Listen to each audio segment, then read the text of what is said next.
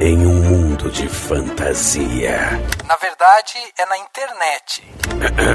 em que os filmes são analisados. Também tem biografia, entrevista, debate, um monte de coisa, né? Sim, um podcast se destaca. Podcast Cinemação. Só no cinemação.com.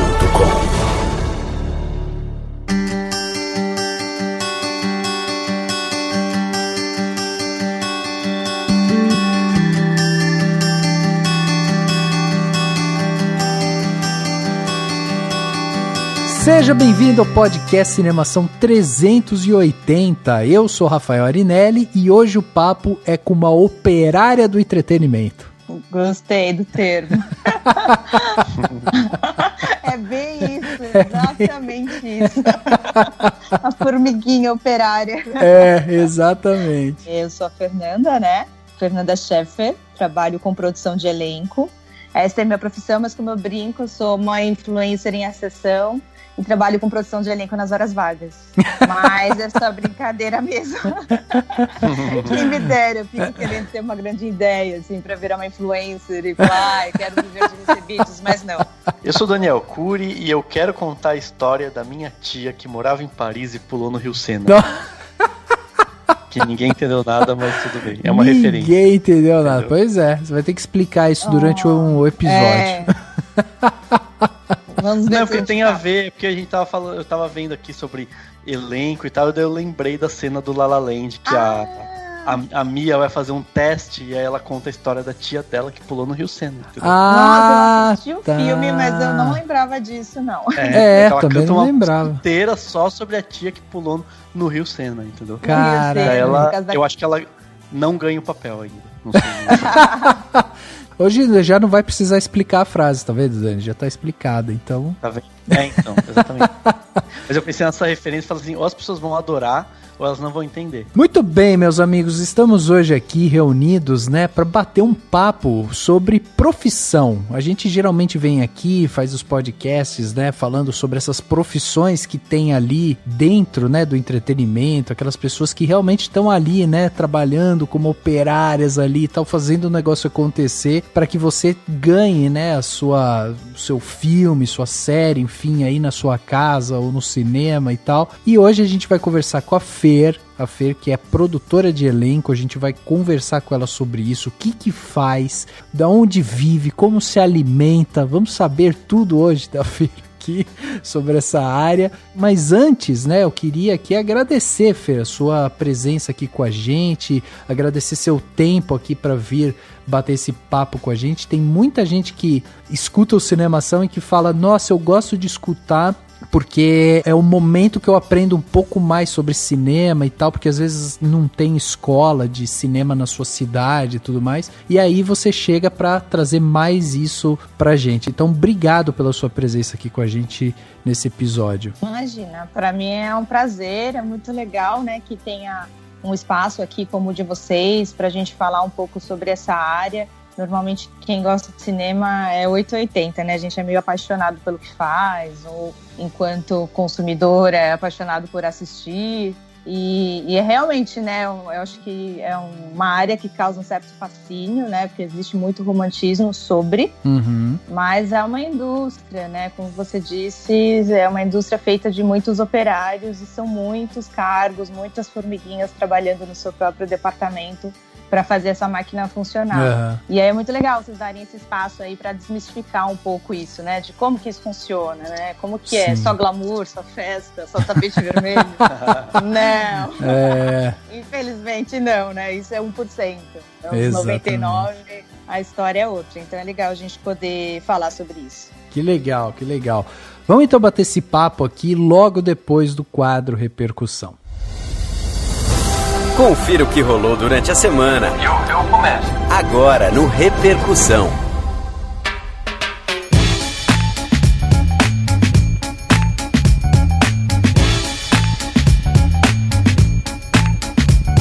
Dani, nesse Repercussão 380 eu te trago novidades sobre o podcast Cinemação, dados que você desconhece. E você vai ficar sabendo que junto com os nossos ouvintes eu quero saber sua reação. Tá bom. Tô até com medo aqui. Olha só, Dani, que interessante. Segundo o Spotify, quem ouve o podcast Cinemação nos últimos 30 dias ouviu regularmente Lady Gaga, Taylor Swift, Caetano Veloso, Queen e Beatles. Esse é o nosso público, Dani. Sensacional. é um público eclético. Não é? Vai de Caetano a Queen, de Lady Gaga a Beatles, de Taylor Swift a Caetano de novo. Olha aí. Olha que legal. E, e são, pelo menos comigo, são bem parecidos, porque eu, desses aí acho que só Taylor Swift que eu não ouço muito. É, eu também o não. O resto é. tá dentro aqui do meu range entendeu? De coisas que eu ouço. Tá vendo? Bem que Caetano eu tô ouvindo pouco, mas preciso ouvir mais. Tá vendo só? E você que tá aí ouvindo a gente pelo Spotify, ou pelo Google Podcast, ou pelo iTunes, enfim, manda seu comentário aqui pra gente, né? Afinal de contas, a gente quer te conhecer. É sempre bom a gente conhecer os nossos ouvintes, porque daí a gente vai dando aquela aprimorada no nosso podcast. E para fazer isso, é só você mandar um e-mail para contato@cinemação.com. Esse e-mail vai chegar aqui para mim e pro Dani e a gente vai poder ler seu comentário aqui ou também, né, dependendo, às vezes a pessoa quer mandar um comentário para desabafar sobre alguma coisa ou quer contar alguma coisa dela. Às vezes esse e-mail chega aqui pra gente, a gente só lê e se corresponde com você, vai falar também o que achou e tudo mais. Então manda aí seu e-mail para contato@cinemação.com ou ainda, né, outro jeito de você se comunicar com a gente é através do nosso site, o cinemação.com. Lá dentro você vai encontrar vários posts, né, com artigo, trailer, notícias, tem muita coisa bacana lá e você vai entrar e vai conseguir dentro do post colocar seu comentário, né? Além disso, a família de podcasts do Cinemação está cada vez crescendo mais, né? Além do Geração M, que está na sua segunda temporada, conduzido lá pelo Henrique, pelo Xaxim, um podcast que fala sobre cultura pop e tudo mais, a gente teve a volta das Matildas, podcast aí com esse olhar para o universo feminino dentro do entretenimento. E o último episódio das Matildas, cara, foi sensacional, assim. A Ioli, né, o podcast é conduzido pela Ioli e ela foi lá e fez um podcast falando sobre a história da arte, né, falando sobre sete mulheres que são artistas e que fizeram história. É muito legal, o podcast está muito bacana. Fica aí o convite para você ir lá ouvir e mandar também seu comentário, o que, que você achou, né, do podcast aí das Matildas. Então vai lá, acompanha a gente no cinemação.com e manda, né, seu comentário aqui para contato@cinemação.com. Lembrando que você pode ser uma madrinha ou um padrinho do Cinemação. Para fazer isso e, portanto, fazer parte do nosso grupo lá no Facebook e no WhatsApp, é só você entrar no cinemação.com barra contribua ou então clicar no botãozinho contribua, escolher uma plataforma que você quiser, tem Patreon, tem Padrim, tem Apoia-se, etc. Você escolhe a plataforma e você pode contribuir com o valor que você quiser. Então, acessa lá o contribua, daí você vai fazer parte do nosso grupo e vai ganhar presentinho todo ano. Seja um patrão ou uma patroa do Cinemação. E chegando aqui na parte onde as pessoas saíram dos seus armários e mandaram seus comentários aqui pra gente, temos aqui um comentário do Fael Mairink, que é um cara que vira e mexe manda comentário aqui pra gente. Ele mandou no nosso podcast 377 sobre causos da sala de cinema. Esse podcast que teve uma enxurrada de comentários porque a galera queria contar seus causos, né? E aí a gente prometeu que ia ler os causos aqui da galera e esse daqui do, do Fael vai encerrar essa lista, mas você continua convidado a mandar seus causos, porque novos causos serão lidos aqui de qualquer jeito, né, Dan? Sim, sempre que der a gente vai tentar. Esse aqui é o último da nossa promessa que a gente garantiu que ia falar, então a gente vai ler aqui. Exatamente. E o Fael falou o seguinte: ótimo episódio e chegou em um momento importante. O melhor foi escutar e lembrar de vários acontecimentos. Alguns deles foram: quando fui assistir Anjos da Noite, a energia do cinema acabou, ficando alguns minutos um breu. Foi uma festa e ao mesmo tempo um pouco revoltante. Resta saber se isso foi na época que as pessoas já tinham celular, né? Ou se foi lá na década de 90 e tal, quando nem celular tinha e ficou aquele breu-breu mesmo, assim. Ele continua. Outra vez fui ao cinema com os amigos da faculdade assistir Deus da Carnificina. Uma das minhas amigas estava rindo tanto, mas tanto, que a sala inteira já estava achando ela mais engraçada do que o próprio longa. E ela gargalhava, e todos nós éramos contagiados pela risada dela. Sair do cinema enxugando as lágrimas pelo tanto que eu me diverti. É, se divertiu com a amiga, olha aí, tá vendo? Então, com o filme. Não com o filme, é. O mais recente foi com Um Lugar Silencioso, onde eu tive a sorte de ir em uma sala em que o público respeitou a proposta do filme e não escutava um pio. Esse silêncio durou até que eu engasguei e comecei a tossir sem parar. A sala inteira olhando para mim. Tive vontade de enfiar a cara no chão, foi super constrangedor. Cara, sabe, eu tive essa, essa experiência também com um lugar silencioso, foi foi assim também. A galera ficou em silêncio. Acho que o filme ele é muito tenso, né? Uhum. E aí é, o pessoal fica prestando atenção. E aí ele encerra, né? Sou fã de vocês e não perco um episódio. Tudo de bom e abraços. Fael, muito obrigado aí pelo seu comentário incrível, cara. Muito legal saber que a gente vê pessoas passando pelo mesmo que a gente passa. Às vezes não, né? Porque nem todo mundo tem uma amiga que vira atração em meio a um filme que tá passando na sua frente, né? Eu tenho um comentário sensacional do Gabriel Antonioli. Ele mandou um e-mail sobre o Guilty Pleasure, né? Que foi o nosso último episódio aí que uhum. a gente lançou. E ele começou de um jeito engraçado, porque acho que ele quis dizer que é uma definição dele. Então ele colocou assim: abre aspas. Guilty Pleasure, por uma definição minha, seria todo o conteúdo que, ao ser comentado, gera certo constrangimento social por algum motivo. Esse motivo pode ser meramente especulativo da mídia, por costumes sociais já inseridos, por alguma difamação pública do material, ou simplesmente por não se encaixar como estandarte social do que o comenta. Ou seja, o guilty pleasure vem de uma preocupação excessiva sobre o que os outros pensam de algo que gostamos. Passei boa parte do episódio 379 me segurando para não começar a escrever este e-mail antes mesmo de terminar de escutar o episódio. Até que o Rafael, sempre elucidativo e coerente, é lógico. tomou por desabafar o que eu estava pensando entre uma chuveirada e outra. É nítida e clara a necessidade que há na sociedade contemporânea de rotular tudo e todos, tudo que fazemos, todos os modos de pensar, tudo que gostamos, todos os que estão ao nosso redor. Palavras fazem a diferença porque direcionam pensamentos e comportamentos. E se afirmar como gostar de algo que lhe confere certa culpa, por mais que a tradução não seja exata, só faz com que antes de você compartilhar sobre algo que gosta, você já esteja se desculpando ou se justificando perante o seu próprio prazer. Em que momento isso foi normalizado? Concordo 120% com o Rafael. Não falamos sobre assuntos somente se eles têm um embasamento acadêmico ou científico. Vivemos nesse momento do mundo em que fazemos algo e olhamos para o lado para perceber se os outros estão fazendo também, para aguardar o que os outros acham do que o que estamos fazendo. Por que ter vergonha de expor o que se assiste? Quão frágil é o nosso ego? Consciência é necessária, não precisamos justificar nossos gostos para ninguém. E se isso está acontecendo, é bom rever com quem estamos nos relacionando. A vida é muito boa para nos mantermos na defensiva. Dessa forma, fomentamos um ambiente impositivo, agressivo e repleto de cagações de regra. Bora viver mais e rotular menos. No mais, agradeço pelo bom papo. Por último, uma sugestão de algo que pode nunca mais rolar no Cinemação: imitações do presidente. Não pela imitação, mas um podcast tão bom poderia ficar sem essa lembrança do terrível momento político em que vivemos. Força e resistência a todos e não vão ao cinema na quarentena, pois isso é burrice. Um abraço, Gabriel Antonioli. Sensacional comentário. Gostei que ele elogiou o Rafa, depois deu uma criticadinha, então é isso.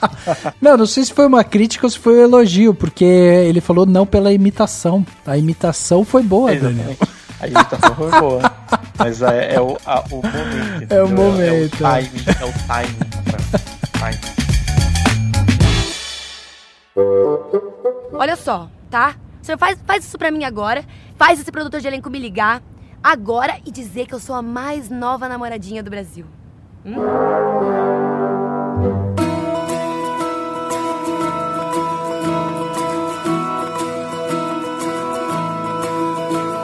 Bom, pra gente começar esse papo aqui, né, sobre produtor de elenco, eu acho legal a gente primeiro pontuar que a Fer veio de indicação do seu próprio marido, que é o Rafa, lá da sala de edição, que gravou com a gente recentemente aqui, falando também sobre edição. Então a gente já pode começar desse ponto, né, Fer? Que a sua casa aí, a sua família, é uma família cinematográfica, é isso? Uma família que já bebe ali no, no, no, no entretenimento. Paga as contas com o cinema. Paga as contas com o cinema, é isso aí, né?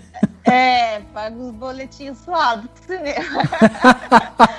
Mas enfim, é, a gente é, o Rafa, ele é editor de vídeo, né? Uhum. E eu sou montador e eu sou, eu trabalho com produção de elenco. Eu sou primeira assistente de, de produção de elenco, ainda não assinei nenhuma obra. Estou aí no meu caminho. E a minha intenção mesmo sempre foi cinema, né? Mas eu não tinha nem grana para pagar uma faculdade de cinema na época. E não Uhum. tinha, eu trabalhava, enfim, tinha né, outras coisas que eu precisava me responsabilizar na época. Então também não tinha condições, não tinha grana para pagar nada particular e não tinha condições de estudar para passar numa pública, enfim. Aí eu falei, ah, já que não dá para fazer cinema, vou fazer rádio TV, porque eu acho que ali isso aqui não. É, a gente Não, acha é. que é, ah, é, É. é quase a mesma coisa. São coisas bem distintas, mas no fundo são discursos que se conversam muito, se complementam muito. Mas eu acabei entrando assim na faculdade, meio que, ah, então já que não dá, vou fazer pelo menos rádio TV, que acho que tá mais próximo daquilo que eu gostaria. Só que, graças a Deus, a vida foi generosa comigo, e mesmo não tendo feito uma faculdade de cinema, as coisas foram acabando se encaixando de uma forma que eu acabei ah, terminando nesse mercado. Então, comigo, o caminho foi um pouco mais orgânico, foi um pouco mais de me conhecendo enquanto eu fazia o curso e vivenciando algumas experiências que eu pude vivenciar depois no cinema, que eu fui me encontrando, né? O Tá. Rafa não, o Rafa já entrou na faculdade meio que mais ou menos ele já sabia o que ele queria fazer, ele já tinha uma ideia de que era edição, ele Uhum. fez esse curso muito jovem ainda e já entendeu que ali era o lugar dele, já apostou e foi. Então, Tá. com ele foi muito mais certeiro, né? É uma área assim que, enfim, são, são muitas funções que você precisa ter, né? Uhum. Então, você faz cinema. Cinema é muito amplo. Você pode ser um milhão de coisas dentro da, da indústria cinematográfica, né? Você pode É. ser diretor, roteirista, figurinista, diretor de arte, trabalhar com fotografia. Você não necessariamente precisa fazer cinema, né? Você pode ter Uhum. outros cursos e É, isso- acaba caindo. Isso que eu ia até perguntar, porque deve ser interessante você chegar na, na hora de trabalhar no, com, né, numa produção. Eu imagino que deve ter gente até de outras áreas ou que fez coisas muito diferentes. Você vê muito essa coisa da necessidade ou de ser bom passear por várias áreas. Então, por exemplo, uma pessoa que trabalha hoje como figurinista, mas na verdade antes foi não sei o que de moda e você já trabalhou com alguma coisa assim é que, que foi te agregando, mas que ainda não era esse esse caminho assim? Olha, eu acho que não existe uma fórmula, né? Ah, se você fizer assim vai ser melhor, ou se você fizer assado, começar por um outro caminho. Eu acho que cada um tra traça, né, a sua própria trajetória, o seu caminho. E isso também é uma coisa bastante subjetiva, né? Tem a nossa parte de estudar, de ir atrás, de correr, de se colocar à disposição, mas também tem a vida, né? Com oportunidades, com estar na hora certa, no lugar certo e ter o alguém que acredite em você que te puxe. E essa área é muito assim, ela é muito ainda subjetiva em, em alguns aspectos, né? Então, assim, eu acho que não existe uma fórmula, ah, faça assim ou faça assado, ou melhor que seja desse jeito ou de outro. Mas eu vejo que no cinema é um mercado que absorve, que tem muitas pessoas que são formadas em, em N outras atividades e que acabam caindo dentro do cinema. Já trabalhei com arquitetos, com engenheiros, com, enfim, pessoas que se formaram numa coisa, mas já tinham aquela paixão. Eu percebo assim, a, a, o que é comum em todo mundo que trabalha com cinema é uma paixão. Uhum. Eu acho que em qualquer profissão que você se dedique, que você queira se dedicar na sua vida, se você tiver o privilégio de escolher do que, que você quer viver, que infelizmente isso ainda é um privilégio, Uhum. é, acho que todo mundo é, é movido por isso, né? Pela paixão, pela vocação, pelo que gosta de fazer. Mas talvez eu esteja sendo romântica, parece que do cinema tem um lance a mais. As pessoas são realmente muito apaixonadas e muito envolvidas e muito querendo fazer coisas fantásticas. Geralmente é isso que eu enxergo em comum em todo mundo. Independente de onde a pessoa se formou, é uma paixão por aquilo, é uma paixão por contar histórias, independente do departamento que você seja, o comum ali é que está todo mundo em prol de contar uma história. Uhum. Então são pessoas muito apaixonadas por relações humanas, por histórias, por vida. Então eu vejo que é um mercado que ainda absorve muita gente de outras faculdades, de outras áreas, mesmo porque você precisa de pessoas com conhecimentos diversos dentro de uma equipe, né? Uhum. Então, você tem o diretor de arte, que muitas vezes é alguém que veio de uma faculdade de arquitetura ou de artes plásticas ou de sei lá o quê. Então, assim, você tem realmente que precisa de conhecimento de vários lugares diferentes para conseguir montar um filme. Então, também tem isso, né? Fora essa, uhum. essa questão que não é totalmente, puramente, especificamente artística, tem uma questão muito técnica também por trás, né? É engraçado, né? Porque é, o cinema, o entretenimento e tal, é uma das áreas que tá mais sofrendo com a pandemia que a gente tá vivendo. E ele é essencialmente uma, uma área, né, de profissão e tal, que é uma área de aglomeração de pessoas, né? Que vem de vários lugares e tal. Então ele é meio que uma. Ele é um microcosmos, assim, do, de justamente o que não pode ser, é, o que não pode acontecer nessa, nessa pandemia. Então, não à toa é uma das áreas que tem mais sofrido, né? Isso é muito louco, né? É, justamente, né? A gente sempre analisou, quando está no set de filmagem, são muitas pessoas ali estão trabalhando para fazer aquela diária acontecer, aquelas cenas serem rodadas, né? Uhum. Quando você vê, sei lá, os créditos de um trabalho, um filme, uma novela, uma série, você vê lá no fim, meu, uma tonelada de gente que trabalhou naquilo para que fosse possível acontecer. Então é uma área que você precisa de muitas pessoas e principalmente filmagem, muitas pessoas juntas trabalhando juntas. É um organismo muito complexo de formiguinhas mesmo. E a gente sempre teve essa noção, mas agora com a pandemia isso ficou escancarado, né? É, então até é. restaurante, você coloca ali umas regras, que vai ter não sei quantos de espaço em cada mesa, vai ter uns biombos protegendo, escritório, você disse também, olha, vamos tentar voltar, se não for home office, o escritório dá para fazer home office, mas se não for, a gente tem aqui umas regras de distanciamento, abre janela e tá lá. Cinema não tem como. Você é. vai gravar uhum. num, numa locação, a locação é pequena, você precisa pelo menos ter o diretor, o diretor de fotografia, dois ou três atores e lá já tem dez pessoas numa, num quarto, numa sala, num estúdio pequeno. Isso uhum. que eu tô falando de uma coisa pequena, né? Uma coisa menor. Se a gente pegar série mesmo, filme, novela, não tem como você fazer cenas que, que tenham tanto. Agora a gente vai ter que dar um jeito, né? Os roteiristas estão aí quebrando a cabeça, pensando em, em formas e, e cenas e histórias mais enxutas e mais simples para a gente conseguir voltar de alguma forma a trabalhar. Mas do jeito que era antes, não tem como. Uhum. E aí a gente fala: Meu Deus, não tem solução, o que, que a gente vai fazer? Solução sempre tem, né? Mas é isso. Sabe... Ou vamos ter que mudar o roteiro, ou vamos ter que inventar um novo jeito de filmar muito maluco, vamos ter que isolar pessoas. É complexo mesmo. É. é, eu, tava, eu tava pensando nisso. Eu falei, nossa, será que ele vai ter uma coisa do tipo. É que imagina a grana que tem que envolver o projeto para você poder pegar toda uma equipe e falar, gente, a gente vai filmar numa cidade no interior, vai ficar todo mundo em tal lugar. Daí a gente fica, tipo, to... vai aglomerar, mas vai estar tá todo mundo isolado, né? Não vai estar tá agora, na realidade, tipo, em São Paulo, imagino que né, é, é, muito difícil, né? Ainda mais com produções com a, o custo tendo, ser, tendo ser super controlado, né? É, é, então, é, esses são os novos desafios, né? Eu não vi a live, mas enfim, estão rolando algumas lives nesse período sobre protocolos, né? Como voltar a filmar, porque também a gente não pode ficar agora, ah, vamos esperar ter uma vacina e até lá a gente não faz nada. Não. E aí existiam algumas lives nesse período falando desses novos protocolos e discutindo formas de, de voltar a trabalhar, como a gente poderia fazer. E uma amiga minha viu uma dessas lives onde parece que um filme aqui em São Paulo já existia um roteiro antes da pandemia, ele ia ser filmado, veio a pandemia parou, mas eles conseguiram adaptar e fazer daí então, o filme inteiro passava numa única locação que era um hotel, e aí isolaram toda a equipe e todo o elenco um mês nesse hotel. Ninguém entra, ninguém sai.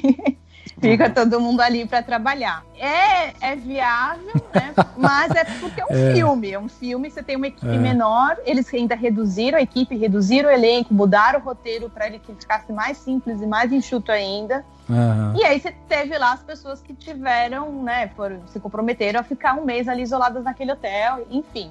Eu acho que é válido, acho que é legal, mas não tem como a gente fazer uma novela, assim, ou uma série, coisas que demandam É. mais tempo pra se filmar, né? É. Porque pensa, você vai falar o ator, qualquer pessoa, né? Eu, qualquer um da equipe. Ah, ó, marido, esposa, filhos, tchau, vou ficar três meses isolado é. Uhum. Daqui Pois três é. meses eu volto e dou um oi pra vocês. Então, assim, é muito complexo, né? Não envolve muitas coisas, muitas questões e, e interfere na vida de muitas pessoas, né? As próximas produções todas vão ser igual os oito odiados, né? Todo mundo dentro de um lugar passando a história ali, né? É, pois é, a gente vai ter que investir em, em comédia sitcom, alguma coisa assim, É, né? Tipo, dois é. cenários, os cinco atores, aí fecha os atores, fecha a equipe, ninguém sai, fica no hotel. Então, assim, é, existem debates, né? Alguns experimentos estão sendo feitos nesse sentido. Com relação aos custos, né? Vocês disseram aí, ah, fora os custos. Pois é, né? Antes da pandemia, tudo que foi orçado, que estava acontecendo ou prestes a acontecer, tinha um orçamento X. Uhum.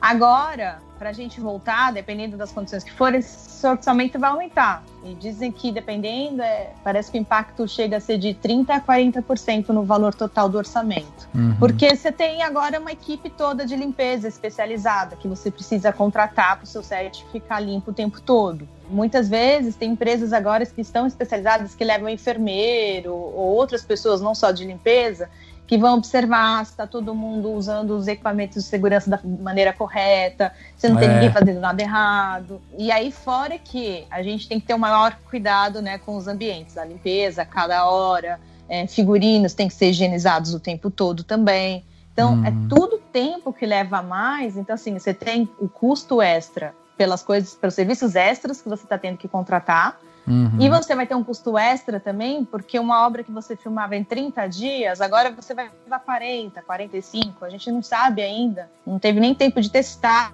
para ver o quanto esses protocolos de limpeza, de higienização, de, de tomar todos os cuidados que são necessários vão impactar dentro da, da produção de uma diária, né, da, da Uhum. filmagem e tal, em, em questão de tempo. Então, é de fato, além de tudo, vai ficar mais complicado, mais oneroso. Eu queria entrar na parte né, de produção de elenco e tal, que é a área que hoje você atua e tal. Então, pra gente tentar pensar aqui num organograma, né? A gente tem ali na, na cabeça ali, a gente tem o diretor, tem o produtor, roteirista e tal. E aí a gente tem essa parte da produção de elenco que tá alocada exatamente dentro da área da produção, certo? Você é um dos braços da produção, é isso, né? É, produção, você quer dizer. É porque assim, É. né? Tudo é produção, mas você Aham. tá querendo dizer na parte ali que a gente tá com a equipe que, que vai pro set, que, né? Que faz É, as produção filmagens. executiva, É. né? Assim, o. Não. Isso, é. Na verdade, esse é um pouco o nosso drama dos Ah. produtores de elenco. Bom, Porque a gente não se encaixa muito bem em nenhuma fase muito específica. Óbvio que na pós Entendi. a gente não tá na pós. Mas a gente, enquanto equipe, nosso departamento é o primeiro a entrar no projeto. tá. Porque, principalmente, né, quando você tem uma série que são muitos personagens, então, assim, tá marcada para toda a equipe começar a pré-produção da obra, sei lá, em janeiro de um Uhum. determinado ano. Normalmente, dependendo do, do, do tamanho do trabalho, eu entro de dois a três meses antes, dependendo do tamanho, do que essa equipe que vai começar a pré. Por quê? Porque eu preciso ter o elenco já pronto, né? A hora que eles Uhum. forem começar a pré-produção, né? A pré-produção envolve o quê? Preparar tudo para filmar. Então, esse preparar tudo na questão do elenco envolve o quê? A gente fazer os ensaios com esse elenco, fazer preparação, fazer provas de figurinos, prova de maquiagem. Se um desses elencos, sei lá, vai precisar o personagem atira de arco e flecha. Então, aquele ator que foi selecionado, ele vai precisar fazer aula de arco e flecha. Então, tudo isso a gente chama que é a preparação do ator, né? Aquele é o período dele se preparando para filmar. Então, assim, quando começa a preparação, a, a pré-produção, na verdade, desculpa, que é quando todo mundo entra, esse elenco ele já tem que estar pronto Uhum. ou a maior parte dele pronto. Então a gente entra antes que todo mundo. Normalmente, quando a gente entra no projeto, só tá no projeto o diretor, porque ele, né, é uma pessoa É. que tá lá desde sempre, e o produtor executivo. Aham. Então, no início, na, na- na- nossa troca é muito direta com, o- com o diretor e com o produtor executivo daquele projeto. Entendi. A gente entra muitas vezes antes até do- dos assentos de direção. E aí, Uhum. quando começa, essa, que a gente chama essa fase, que a gente entra antes de todo mundo, de, é, de preparação. Uhum. Quando começa a pré-produção, que é entrar a equipe toda para cada departamento cuidar do seu para fazer a filmagem, a gente gente já está na metade do nosso trabalho, a gente já está saindo. Porque Ah, aquele elenco tá. já está montado e aí a gente entrega. Normalmente fica um assistente de, de produção de elenco ali para cuidar das coisas práticas do dia a dia que é Uhum. organizar a vida daqueles atores, aquelas agendas, todas as atividades que esses atores precisam fazer, Uhum. e depois acompanha também as filmagens. Mas quem monta o elenco, né, o produtor de elenco e seu primeiro assistente, normalmente eles estão nessa fase muito embrionária ainda do projeto. Então, a gente entra antes de todo mundo, a gente tem esse contato super intenso e meio que a hora que o negócio está começando a gente sai. Então a gente, até quando a gente vai em festa, assim, de fim de projeto, muitas vezes a equipe toda olha para você e fala: Nossa, quem é você? O que, você faz? eu falo: Ai, tá- sabe o elenco que tá na festa? Eu ajudei a produzir, mas é porque a gente tem pouco contato mesmo. Por isso que entendeu? você falou que há um dilema, porque no começo você se reporta tanto ao diretor quanto ao produtor. Quer dizer, você precisa equilibrar ali a visão artística com o budget que o produtor tá te, tá te pedindo pra enxugar lá de todos os jeitos. Exato. Aham, entendi. Por isso até que é, uma, é um trabalho. Isso também não é uma regra, né? Muda muito de produtora para produtora, de casa para casa, de diretor para diretor. Mas normalmente no início é, é um, um trabalho muito estreito entre o produtor de elenco, o diretor e o produtor executivo, que é justamente isso, né? O diretor tá querendo pirar na maionese, ele quer as melhores hipóteses e possibilidades. O produtor executivo é o cara que quer o melhor, mas tem que ser o custo-benefício. Não adianta ser o melhor e ser furar o orçamento dele, então tem que chegar no meio termo. E o produtor de elenco tá ali para mediar isso, sabe? Para então vamos chegar aqui, alinhar as expectativas e trazer o seu conhecimento também sobre os atores, sobre novidades, sobre tudo, e- e poder junto, né, os três aí traçando a- a- o que, que eles acham interessante para poder começar a montar esse elenco. Olha só, tá? Você faz, faz isso pra mim agora. Faz esse produtor de elenco me ligar agora e dizer que eu sou a mais nova namoradinha do Brasil.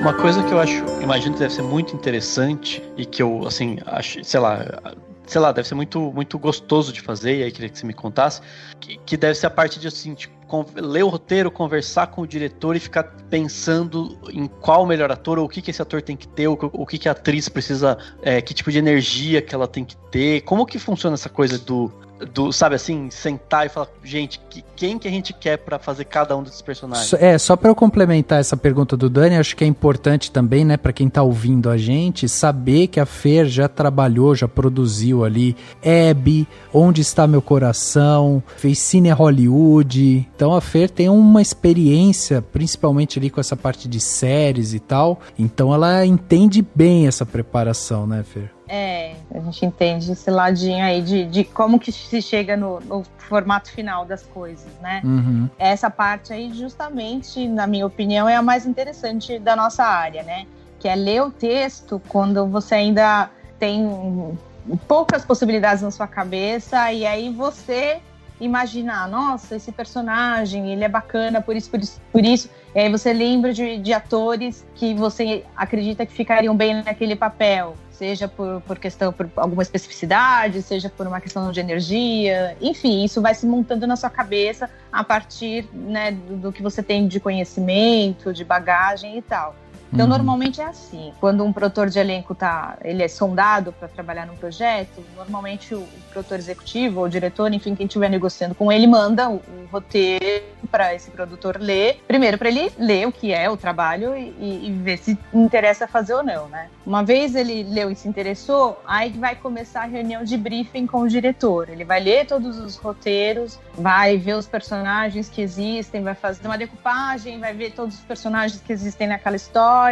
Às vezes já existe até uma lista desses personagens, outras vezes não. A gente vai fazendo a gente mesma a decupagem. vai vendo o perfil, a participação, a, a, curva dramática de cada um e vai tendo ideias. E aí muitas vezes a gente já chega com vários nomes para sugerir para o diretor, e aí é legal, porque aí é o início da troca, né? Porque muitas vezes o que está ali no texto, né, no briefing de um personagem, eu enxerguei de uma forma, mas o diretor tem um, um outro pensamento para aquela pessoa. Então é ali que começa a troca. Uhum. Né? O produtor chega na reunião e fala: olha, acho legal esses nomes para esse personagem aqui. Geralmente a gente começa pelos principais, né? Que a gente precisa resolver primeiro, que são os mais importantes. Uhum. E aí começa essa troca, o diretor diz o que ele acha, o que ele não acha. Muitas vezes ele já sabe quem ele quer o personagem, né? Ou para os personagens principais. Muitas vezes isso já até chega negociado. Ah, já fiz o convite, ele já aceitou. Então o, o principal tá fechado é esse aqui, mas vamos ter que resolver todos os outros 30. Então, assim, cada trabalho é de uma forma. Mas é assim, a gente vai construindo junto, né? O produtor de elenco vai trazendo opções e, e a gente vai entendendo com o diretor o que, que ele quer, qual é o perfil, o que, que ele imagina, qual que é o registro, qual é a identidade que ele quer dar para aquela obra. Uhum. E aí, feito isso, a gente levanta uma possibilidade de vários nomes, de várias referências, só que a gente não termina ali, né? Ah, então tá, temos esses nomes, vou consultar. Não. É, muitos é, atores, quando, né, dependendo de quem é, se são personagens principais, então para alguns deles a gente faz convite. A gente manda o texto, o cara lê, entende o que é e diz se quer fazer ou não. Mas, para a maioria, a gente vai ter que fazer testes. Então, a gente vai, a partir dessas reuniões, entendendo o briefing de cada personagem, vai testando os nomes que a gente levantou na reunião. Vamos testando outros nomes que o diretor não conhece, mas que a gente te, acha que tem a ver, que está dentro da proposta daquilo que ele pediu, do que ele está imaginando. Então, a gente faz dezenas de testes para cada personagem. E aí, temos as nossas reuniões, né, normalmente semanais, onde a gente apresenta os materiais que a gente teve dos testes da semana. Legal. E aí vai vendo o material de todo mundo, né? Óbvio que a gente faz uma pré-seleção, a gente não leva exatamente todo o material para esse, esse diretor assistir, né? A gente já faz um select antes daquilo que a gente julga mais legal, que se deram melhor, dos testes que ficaram mais bacanas. Uhum. E aí a gente apresenta para o diretor, para a produção executiva, e a partir daí vai definindo, ah, gostei desse, bacana, ah, esse aqui não, pode descartar, ou esse aqui, pô, gostei dele, mas não para esse personagem, faz outro teste com ele, testa ele nesse outro personagem aqui, acho que vai ficar melhor. Então, às vezes, durante essa reunião que a gente tem com o diretor, a gente muda, a gente tem algumas novas ideias, aí chama esse mesmo ator para um outro personagem, para fazer um outro teste. Então, é muito de experimentação também, né? Às vezes, o uhum. diretor, ele, ele tem muito claro o que ele quer na cabeça dele com alguns personagens, mas com outros é nebuloso. Nem o diretor entendeu ainda o que, que ele quer com aquele ser humano. Então, sabe? A gente uhum. tem um, dois ou três personagens em cada série, temporada, filme. Você fala, ah, qual que vai ser o personagem dessa vez, que ninguém vai saber o que quer, e que a gente vai ter que fazer um milhão de testes e vai definir, sabe, um dia antes da, do prazo máximo de vamos começar a filmar. Uhum. Então, assim, sempre tem esses personagens coringas que acabam dando um trabalho aí no processo por, por N razões.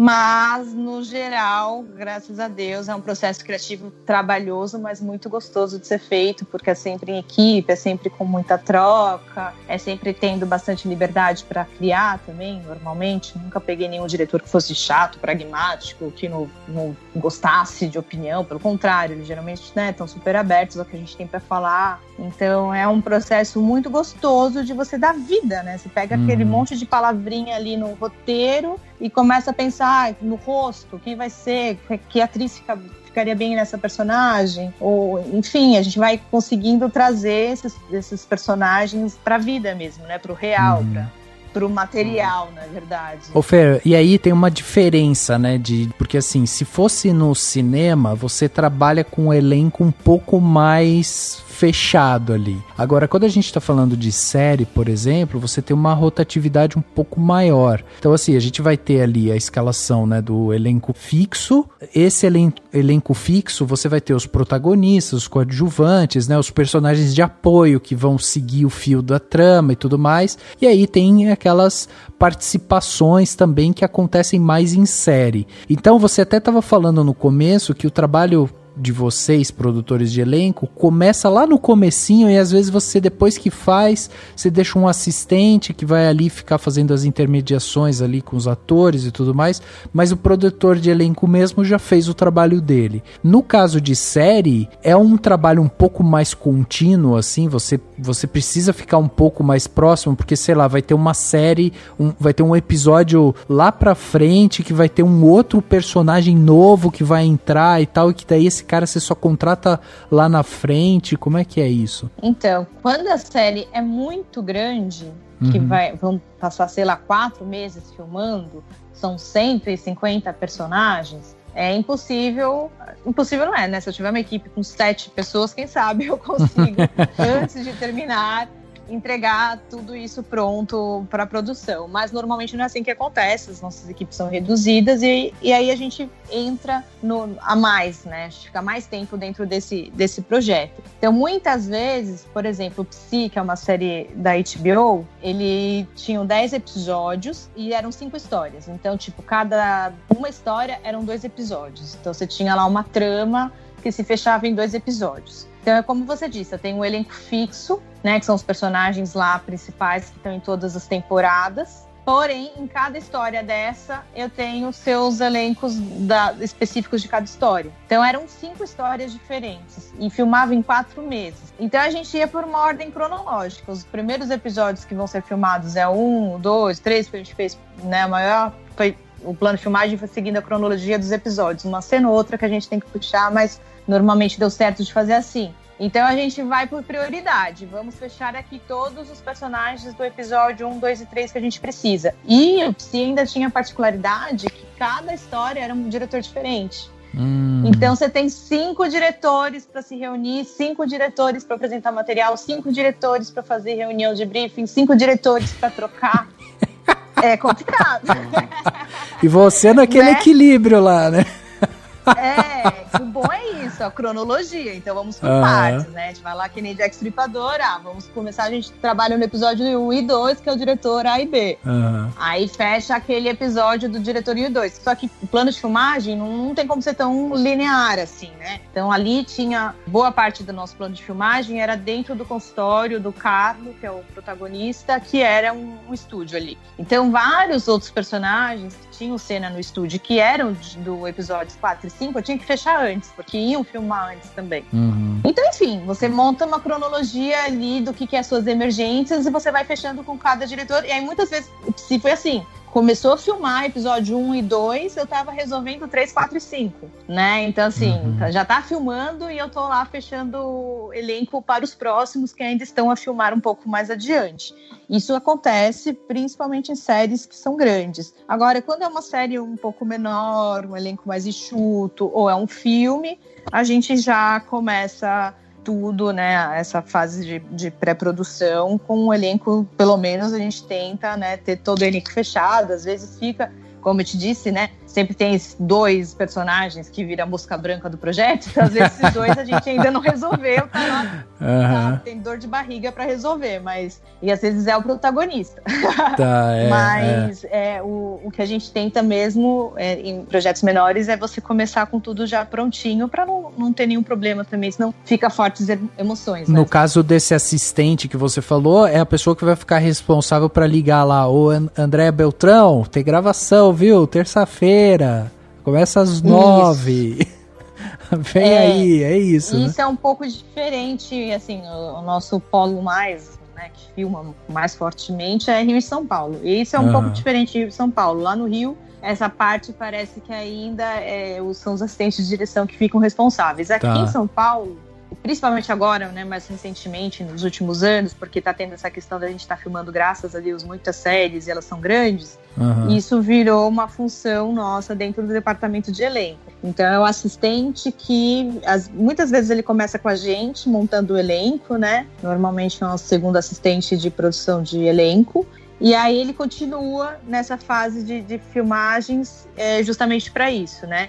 Ele faz todo o controle de marcar os atores, mas não é só isso também. enfim, todo o texto que muda, ele é responsável por mandar todas as cenas que foram alteradas, explicar que mudanças que tiveram. Enfim, ele fica ali dando todo aquele suporte pro ator, para o ator ter todas as informações que são necessárias para não chegar lá no dia da filmagem com uma surpresa. Mudou uma cena, mudou um texto, o cara não se preparou, não sabia. Então Uhum. existe essa figura desse assistente que fica nessa etapa do processo porque ele fica focado em resolver todas as demandas que circundam ali a vida do ator, tanto no set, com relação ao horário de filmagem, cenas, etc., quanto no por trás também, né? Às vezes é um Uhum. ator que tá de veio de fora, de outra cidade, ou de outro país. Então esse assistente ele tem que fazer toda a ponte com a produção para pedir as hospedagens, pedir passagem aérea, verificar a questão de perdim, se está sendo pago ou não se esse ator está precisando de alguma coisa, é ele que vai fazer toda a ponte com a produção para que o ator tenha todo o, o background, todas as necessidades que ele tiver no período que ele estiver ali trabalhando dentro daquele projeto. Ele vai ter esse assistente de, de produção de elenco para fazer essa ponte para ele e organizar essas coisas. Por exemplo, no caso da, da Andréa Beltrão, que fez a Abby. Você, como produtora de elenco, foi a pessoa, ou você, o diretor, enfim, passou a mão no telefone, mandou lá o roteiro pra, pra Andréa, ó, tá aí e tal, você topa fazer, pá, pá, pá, negociou, pá, fechou, beleza, tá fechado. A Andréa fechou o negócio e tal, começou a gravação, esse assistente é aquele que vai ficar ali do ladinho, porque quando ela chegar no set, ela pode falar, gente, incorporei aqui a personagem, não posso gravar se não tiver cinco toalhas brancas. Aí fale com o assistente acho. de, o assistente de elenco, ou não é isso? Então, não, é Ótimo. uma questão mais de produção mesmo, né? Aham. É, se ela quiser, essa atriz ter uma assistente pessoal que vá. No fim, é óbvio. Não é o caso da Andréa Beltrão, tá, gente? Pelo amor de Deus. Mas é óbvio. É, É um mas é exemplo, é um exemplo. É um exemplo. É óbvio que se um ator, de repente, eu, né, começa a fazer muitas exigências, que ele precisa, sei lá do que, sei lá, não, não sei aonde, vai ter um, um assistente de produção de elenco ali, ele vai estar ali e vai tentar resolver. Vai falar: olha, gente, o ator X ali tá precisando disso, é possível arrumar? Ele tá pedindo. Uhum. Mas não é a função. Muitas vezes, esse, esse assistente de produção de elenco, ele nem vai pro set. Se a gente precisa de alguém lá no set, a gente tenta colocar um terceiro assistente de direção para fazer essa parte. Ou Uhum. às vezes um estagiário, que daí vai ficar lá para isso. Ó, você vai grudar ali nos atores tudo que eles precisarem, você vai informar quem for de direito que eles estão precisando. O assistente de produção de elenco que vai acompanhar as atividades, né? Ele, é, ele não é, não tá ali para não é assistente do elenco, ele é assistente de produção. Então é o que eu te disse. Ele vai ficar toda com essa parte burocrática de resolver a vida do ator, pro ator ter toda a estrutura que seja necessária para filmar ali, você tem grandes dor de cabeça. Então, assim, ai, meu hotel deu problema no quarto X. Pô, vai falar com o assistente de produção de elenco que vai chegar na produção e falar, gente, precisamos resolver isso Perfeito. coisas relacionadas à produção, ele vai ter que resolver. Ele vai ter que procurar Uhum. o departamento que for responsável e, junto com esse departamento, achar soluções. Mas É. não ficar no set pagiando ator. São coisas diferentes. Pode acontecer? Pode. Mas não é exatamente a função dele, entendeu? É, não, eu acho importante a gente deixar claro isso, porque o cinema, né, e as produções, elas têm nomenclaturas, às vezes, que se confundem, né? Por exemplo, eu fiz um curso de assistente de direção. Eu, pra mim, assistente de direção era um assistente do diretor, era isso. Era o cara que ficava do lado do diretor dando assistência pra ele. E não é, o assistente de direção é a pessoa que tá no set fazendo o negócio inteiro ali rodar, sabe? Falando, ó, vamos lá, tem o horário tal, você vai pra lá, você vem pra cá. É quase um, maestro ali, é uma pessoa super importante e, e essa ideia é outra. E quando a gente fala de produção, a produção tem isso, tem essas camadas assim, né? Então a gente tá falando de produção de elenco, aí tem produção executiva, aí tem o assistente de produção, aí ah, mas o assistente de produção é assistente de que produção? Da executiva, do, do produção de elenco, de não sei o quê. É, Então é legal a gente já deixar claro isso para as pessoas entenderem também, né? É, Sabe- são muitas nomenclaturas, muito cargos. E o que você disse da, da questão do assistente de direção é realmente uma coisa muito interessante que a gente, que eu observo pelo menos na área. Que é o que você realmente disse. Quando você fala assistente de algo, é, você está dando assistência para aquela pessoa de alguma forma, você é assistente de alguém. Mas no cinema é diferente. O assistente de direção, ele é de alguma, principalmente o primeiro, né? Ele é de alguma forma assistente do diretor, mas não é que a função dele se resume a ser um assistente do diretor, né? Tipo, o diretor uhum. fala, ah, eu quero agora que você busque meu casaco. Ou que você fale com fulano lá que tal coisa, tal coisa. Não. A função do é. assistente de direção é controlar, do primeiro assistente é controlar toda uma diária, ele vai, né, liderar para que tudo aconteça dentro dos horários, para que os equipamentos estejam no lugar onde eles têm que estar na hora certa da cena. Né? Então, ele é um grande maestro ali, um líder de todas as equipes. O o segundo assistente de direção, que você pensa, ah, ele é assistente do primeiro. Na hierarquia, ele responde ao primeiro, mas ele não é assistente do primeiro. Ele vai fazer toda uma outra etapa do processo, todo o planejamento da gravação, a ordem da diária, a ordem das cenas que vão ser filmadas. Ele vai pensar toda a estrutura e a melhor estrutura possível para que aquela diária aconteça da melhor forma possível.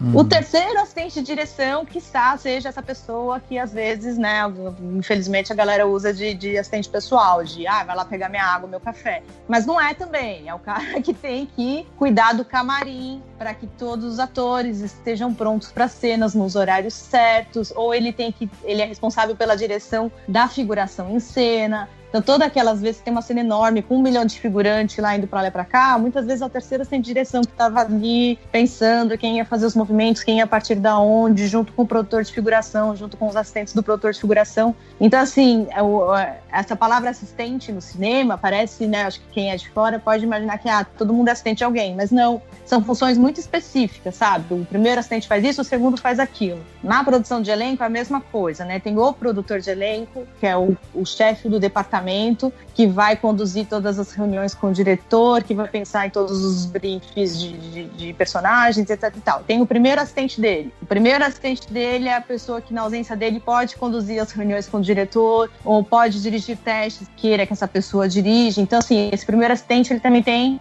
uma série de funções. Aí tem o segundo assistente de produção de elenco. O segundo assistente de produção de elenco vai ficar com as partes um pouco mais burocráticas do dia a dia, quer marcar teste, quer mandar e-mail, quer mandar cena. Então, assim, no fim, essas palavras confundem um pouco. Confundem, Parece todo mundo, é, tipo, é. existe um, um profissional e 27 mil assistentes, né? e esses assistentes atendendo esse, esse um profissional, mas não. Foram é. nomenclaturas escolhidas ali, né? Não, não, sei te dizer, não estudei essa parte aí de como se chegou nesses nomes, mas são, são funções muito específicas e, e com demandas muito bem sabe? Cada um tem seu objetivo, cada um tem o que, o que fazer ali dentro, tem que ser uma coisa muito bem organizada, tem, é tipo uma orquestra mesmo, todo é. mundo com seu equipamento muito bem afinadinho, porque se o segundo não der conta, o primeiro vai se ferrar, entendeu? Uhum. E daí vai sobrar para o primeiro, vai acumular função. Então uhum. é, é, bem é uma coisa que tem que ser bem orgânica, bem cada um sabendo uhum. do seu papel ali para funcionar direitinho.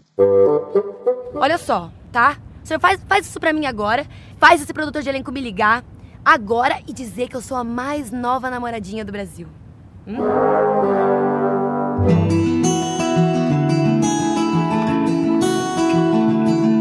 E aí eu tava pensando ainda na questão do é, escolher o elenco, fazer os testes e tudo mais. Então eu tava me perguntando aqui, quando você tá procurando, por exemplo, o, né, o personagem Coringa, que nem o diretor sabe direito bem quem quer, ou quando vocês estão escolhendo qual é o melhor ator, a melhor atriz para um determinado, por uma determinada coisa, você vê essa, esse processo muito de feeling, sabe? De, é, é uma coisa de feeling ou você acha que é uma coisa mais de pragmática, do tipo assim, não, tem que saber o roteiro e tem que, é, sabe, ticar três coisinhas do que a gente tá exigindo para esse ator, para essa atriz e tal. E aí eu tava, eu tava vendo umas coisas sobre seleção de elenco de infantil, que acho que é outro outro, né, enfim, outra, uma coisa deve ser bem mais difícil até, imagino. E aí estavam falando muito sobre a questão de eles não exigem muito que a criança saiba necessariamente o texto, ela não precisa chegar no teste para sabendo o texto, ela pode chegar no, no teste com o texto mais ou menos, mas tem que ter a energia, a vibe do personagem e tal. Como que você vê isso? Você acha que é uma coisa muito, sabe assim, muito pragmática? Não, a gente discute aqui, chega, ou é uma coisa de, de tentar explicar por que, que você achou que aquele ator ou aquela atriz é uma pessoa que combina com aquele papel? Assim, como que você vê esse, essa, assim, essa coisa da sutileza e tal. É, então, tudo depende da relação que você vai ter com o diretor, né? Que, que é o Uhum. responsável por aquele trabalho e da liberdade que você tem ali com aquela pessoa, né? Por isso que cada projeto é um projeto, cada trabalho é um trabalho, a gente nunca sabe exatamente com que tá lidando. A menos que seja um diretor que você trabalha sempre, que você conhece, que é seu amigo, você já sabe ali como funciona, mas se é um primeiro projeto que vocês vão fazer juntos, você não sabe como aquele ser humano é, né? Uhum. Normalmente, é o que eu disse, é, existe muita abertura, porque também acontece o seguinte, né? Normalmente o diretor só vai chamar um produtor de elenco que ele minimamente confie. Ou porque de alguma forma ele já conheceu o trabalho daquela pessoa, já trabalhou com ela num trabalho menor e gostou, acha que ela é interessante para aquele projeto, ou porque ele sabe que, ah, pela filmografia dela, pelo currículo dela, ela fez trabalhos que interessam a esse diretor. Então, normalmente ele vai buscar um profissional que ele se sinta confortável em trocar né? Uhum, Porque uhum. muitas vezes o diretor ele também pode vir com já meio formatado na cabeça dele. Tipo, Rodrigo Santoro é o nome que em 99% das reuniões ele aparece, né? Ah, esse personagem aqui eu pensei no Rodrigo Santoro. Aí aquele momento que todo mundo se olha, dá uma Aham. risadinha de canto de olho assim e fala: ai meu Deus, quem conta, né? Eu ou você? É difícil. Aí, Ah, então, assim, as, e assim, e o Rodrigo é um cara incrível mesmo, ele era um ótimo ator, e, sabe? Muitos dos trabalhos que tivesse o Rodrigo Santoro, realmente é um trabalho que fica foda. Mas aí muitas vezes você tem que desconstruir o, o diretor e trazer ele pra realidade, falar, meu, não vai dar. Então a gente vamos pensar em, em coisas que são viáveis para esse projeto e que estejam no nível do Rodrigo Santoro.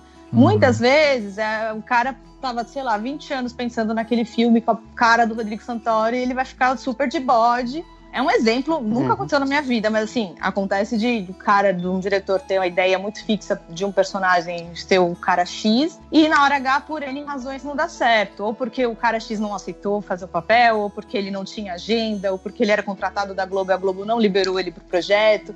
Então, muitas Uhum. coisas podem acontecer. E aí o diretor pode travar e falar: Meu, não, faz cinco anos que eu imagino esse cara nesse personagem, não consigo. E a gente vai ter que trabalhar ali junto com o diretor e falar: É. Não, vamos pensar aqui, vou te trazer opções, eu vou te trazer pessoas, nomes e lá lá lá. Pode acontecer também, é, já, já vi acontecendo muito. Às vezes é um personagem lá que tem uma rubrica: ah, é um homem de 40 anos, médico, lá lá lá. Aí a gente tá lendo o texto e fala assim, meu, é, nossa, esse personagem aqui, a fulana faria otimamente bem, mas aqui no texto tá dizendo que tem que ser homem.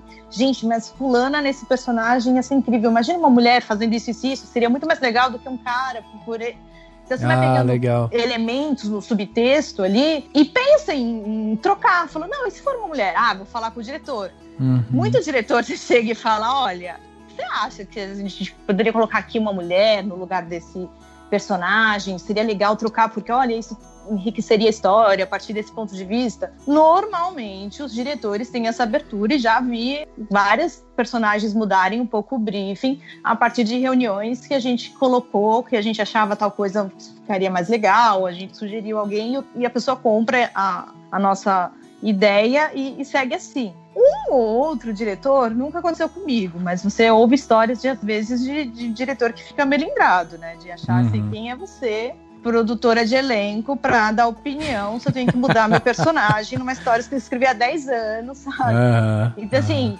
tudo vai da relação que você tem com essa pessoa. Quem é essa pessoa? Qual a expectativa que essa pessoa tem naquele projeto ou naquele personagem? Então, assim, é normalmente de muita troca, uma construção ali, esse Uhum. processo, né? Vocês Hum. falaram de criança, né? Como que é selecionar criança.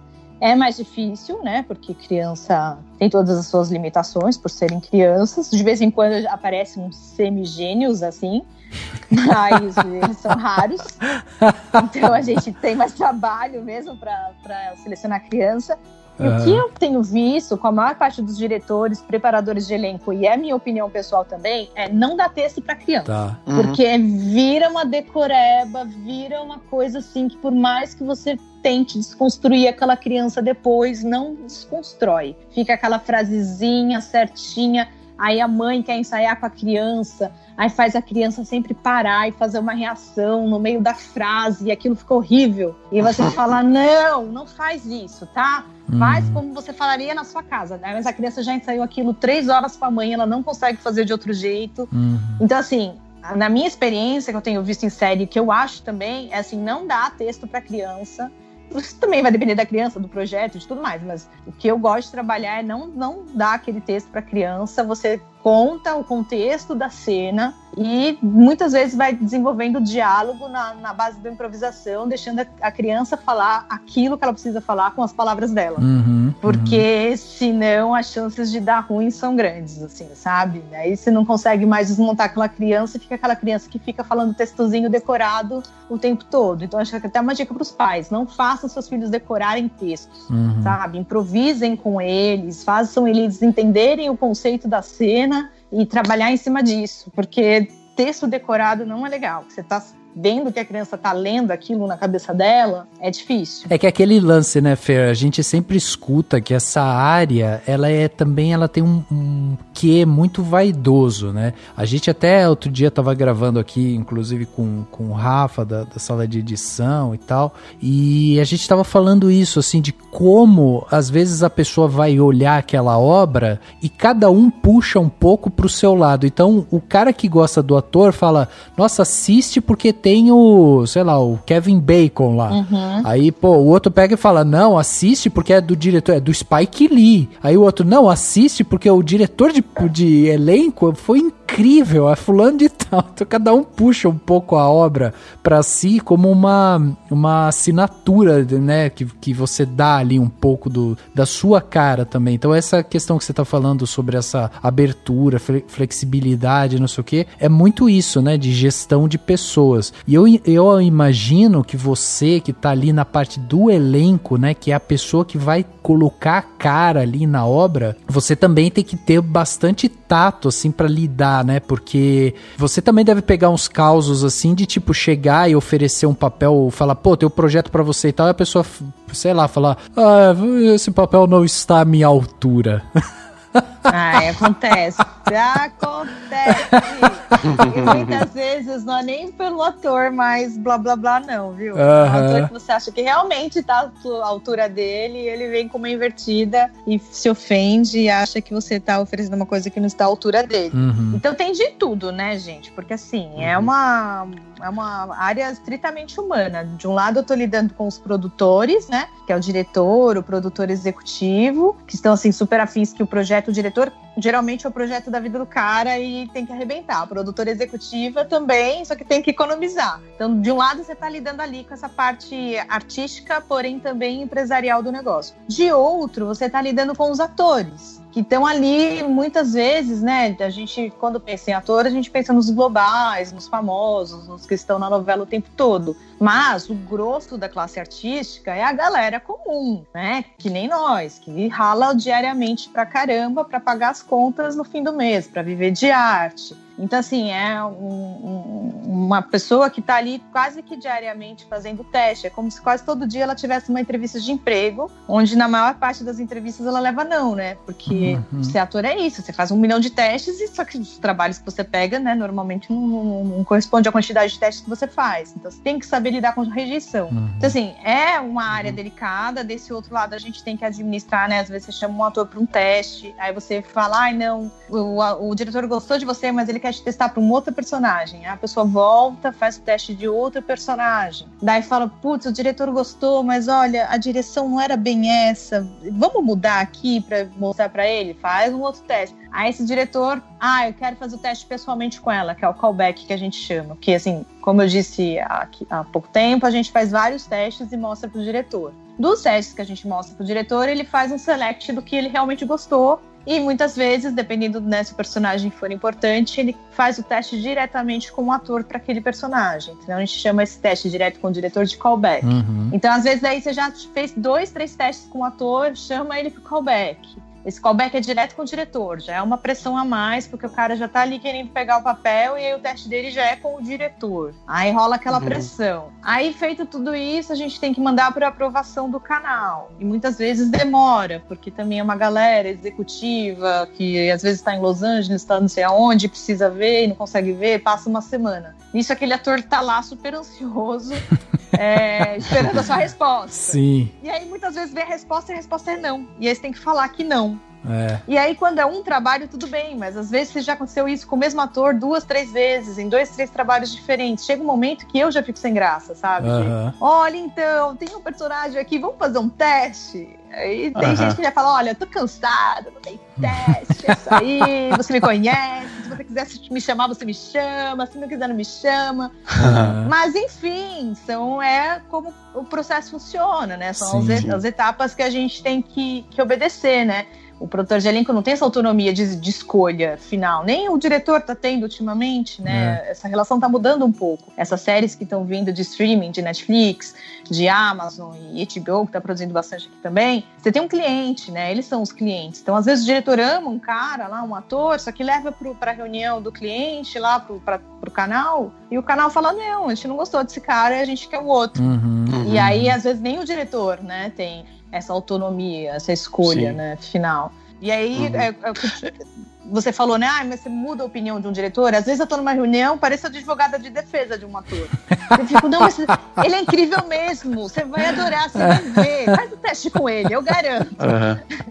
Sabe? Não, Porque você sabe que a pessoa vai funcionar. E às vezes o cara tá de Sim. mau humor e não gostou e não quer ver. Não, meu, confio, veja. E, e, e deve ser legal essa coisa de ter experiência, né? De conforme vai ganhando experiência, você vai tendo contato com mais atores, né? É, rola isso de você tá, tá lá e falar, putz, esse personagem tem um ator que eu fiz um teste, ele nem fez aquela série, mas ele é muito bom, vou chamar, porque eu acho que vai dar certo, tipo, essa coisa do ficar lembrando de todo mundo que, que você já acompanhou, que você já viu o teste, que você já ajudou é, a- em algum momento. Rola isso de ficar na hora da preparação, de ler o roteiro, você fala assim, putz, vamos chamar tal pessoa pra fazer isso aqui, porque aquele teste que essa pessoa fez tem tudo a ver com esse. Rola essas coisas assim? É isso, né? O produtor de elenco é isso. É ele ficar lembrando o tempo todo de pessoas que ele conhece. Agora que a gente tá, né, na fase da, da comunicação, da tecnologia, a tecnologia tá aí que nos ajuda imensamente. Tem um site aqui em São Paulo chamado Elenco Digital, que foi é desenvolvido por uma produtora de elenco pela Renata Kalman. E é um site maravilhoso, porque é um site que os atores se cadastram, então eles vão de graça. Tem o plano Uhum. pago, mas tem o plano de graça também. Então eles vão colocar fotos deles, eles vão colocar currículo, dados pessoais, vídeos com trabalhos deles ou com monólogos que eles produziram. Então o cara entra lá é como se fosse um LinkedIn, só que só para ator. E ele coloca lá toda a experiência profissional dele, as informações que são relevantes.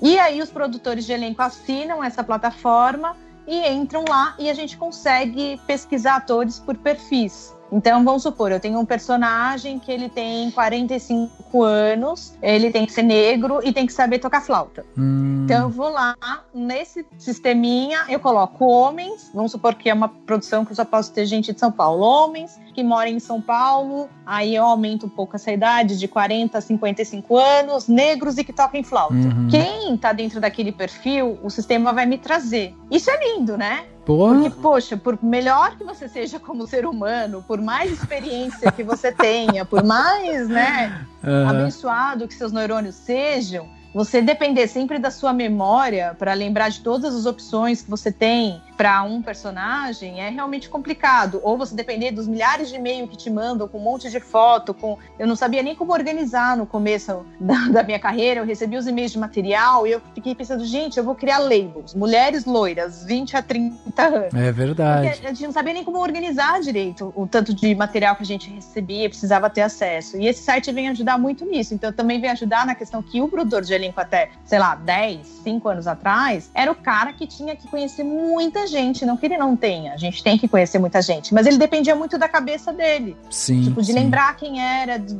isso também é um pouco restritivo, né? Porque é o que eu te disse, no fim, você vai trabalhando com as mesmas pessoas, você vai ficando com o seu olhar meio viciado, porque você vai lembrando sempre das mesmas pessoas, porque estão ali, né, no, no seu círculo de, de, de, trabalho, de amizades, no seu dia a dia. Então, era complicado, e aí agora a gente tem a tecnologia para nos ajudar, tem essa ferramenta, tem os sites da, das agências de atores, tem uhum. é, o próprio Google, às vezes você quer lembrar de alguém, você põe lá uma informação, o Google traz praticamente tudo que você precisa saber da vida daquela daquela pessoa. Então, hoje em dia, a gente tem a tecnologia que ajuda muito, né? Não interfere que a gente precisa estar o tempo todo conhecendo gente, o tempo todo indo em teatro, o tempo todo com o nosso olhar aguçado, vendo novidades, pessoas que a gente ainda não conhece, mas a gente tem a, a tecnologia a, a, ao nosso favor, porque o nosso trabalho é esse, é ler o texto e falar, nossa, para esse personagem aqui, ai, fulano, ciclano, beltrano, vão ficar lindos nesse, nesse personagem aqui, eu acho que eles combinam. Então, assim, é um trabalho de lembrar, é um trabalho de criar, mas é um trabalho de pesquisa muito também, é um trabalho. Você tem que estar o tempo todo antenado, sabe? Um bom uhum. produtor de elenco. A gente tem a Cecília, que é da O2, a gente brinca que ela é nossa ah, é nosso patrimônio, né? e ela é muito engraçada por isso, porque ela vai nos lugares e ela tá todo, o tempo todo ligada em perfis, ela faz muita publicidade, publicidade vira e mexe, você precisa de umas pessoas muito específicas, né? Os tipos é. muito peculiares, assim. E ela tá sempre antenada, e aí ela se apresenta, e ela pega o nome da pessoa, e, e é, no fim é isso. O seu trabalho você tem que estar tá com o seu olhar o tempo todo ali ligadinho, porque de repente pode ter ali um ser humano que vai ser interessante um dia, você vai precisar dele. Uhum. E no fim, eu descobri que tem um primo do meu pai que uma vez fez uma propaganda, acho que da Telesp, porque a Cecília encontrou ele na fila de um teatro. Olha! e ele falou assim: gente, eu tô fazendo aqui um teste de um comercial, você é a cara do, do protagonista do comercial. E aí, na época, ele fez o, o comercial, ganhou uma grana, na época ainda que publicidade ganhava, pagava bem. Começou a fazer teatro amador, Tipo, virou ator amador, tipo, não é profissional, mas faz umas peças. Tudo porque uma produtora de elenco uma vez encontrou ele, mandou ele num teste, ele fez um comercial e gostou. Que legal. Olha só, tá? Você faz, faz isso pra mim agora. Faz esse produtor de elenco me ligar agora e dizer que eu sou a mais nova namoradinha do Brasil. Hum?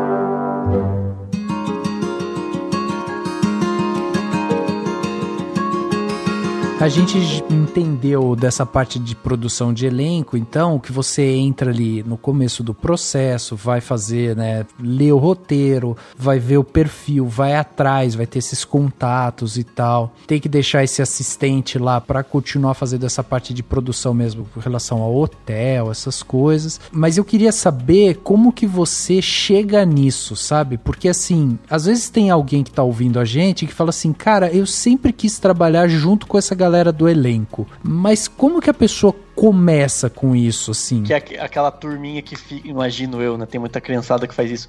Fica uhum. pensando em filme. Fala assim, não, podia ter um filme sobre, sei lá, qualquer assunto. E aí, nossa, daí o ator principal teria que ser o fulano. Aí tem um pessoal que fica fazendo brincadeira na internet, tipo, é, selecionar, é. né?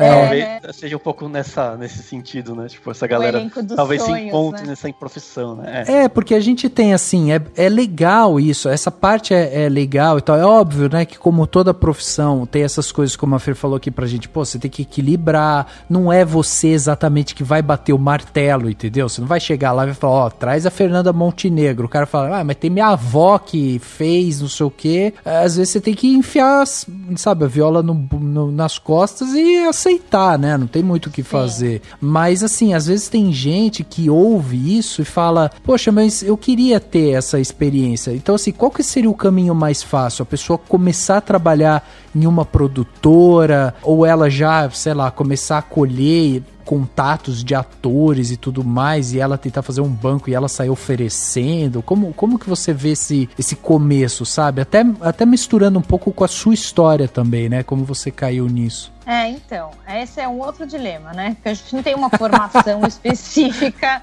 de produção de elenco. Falar, ah, agora vamos aqui, vou me especializar, embora tudo seja uma especialização, a gente estuda para fazer o que a gente faz. Mas não tem nada formal, né? De uhum. tipo, ah, fazer esse, é, essa faculdade disso, ou essa pós disso. O que a gente tem são cursos, né, dado por escolas de cinema, cursos, workshops, cursos livros de, de menor duração, Então, assim, mais uma vez, o cinema, eu acho que é uma arte recente, não tão recente assim, mas é recente, né? Só que aqui, principalmente no Brasil, acho que a gente não tem um mercado assim que ainda seja é, muito segmentado, né? Você tem a faculdade de cinema e aí você faz a faculdade de cinema como medicina. Você tem lá, tipo, tudo, mas medicina você faz uma especialização, né? Você tem, é obrigado a pensar, vou fazer medicina, eu vou ter lá seus, meus quatro anos de matérias genéricas e no meu quinto ano eu vou ter que me especializar em algo. O cinema não existe essa obrigatoriedade. Você faz cinema e você não,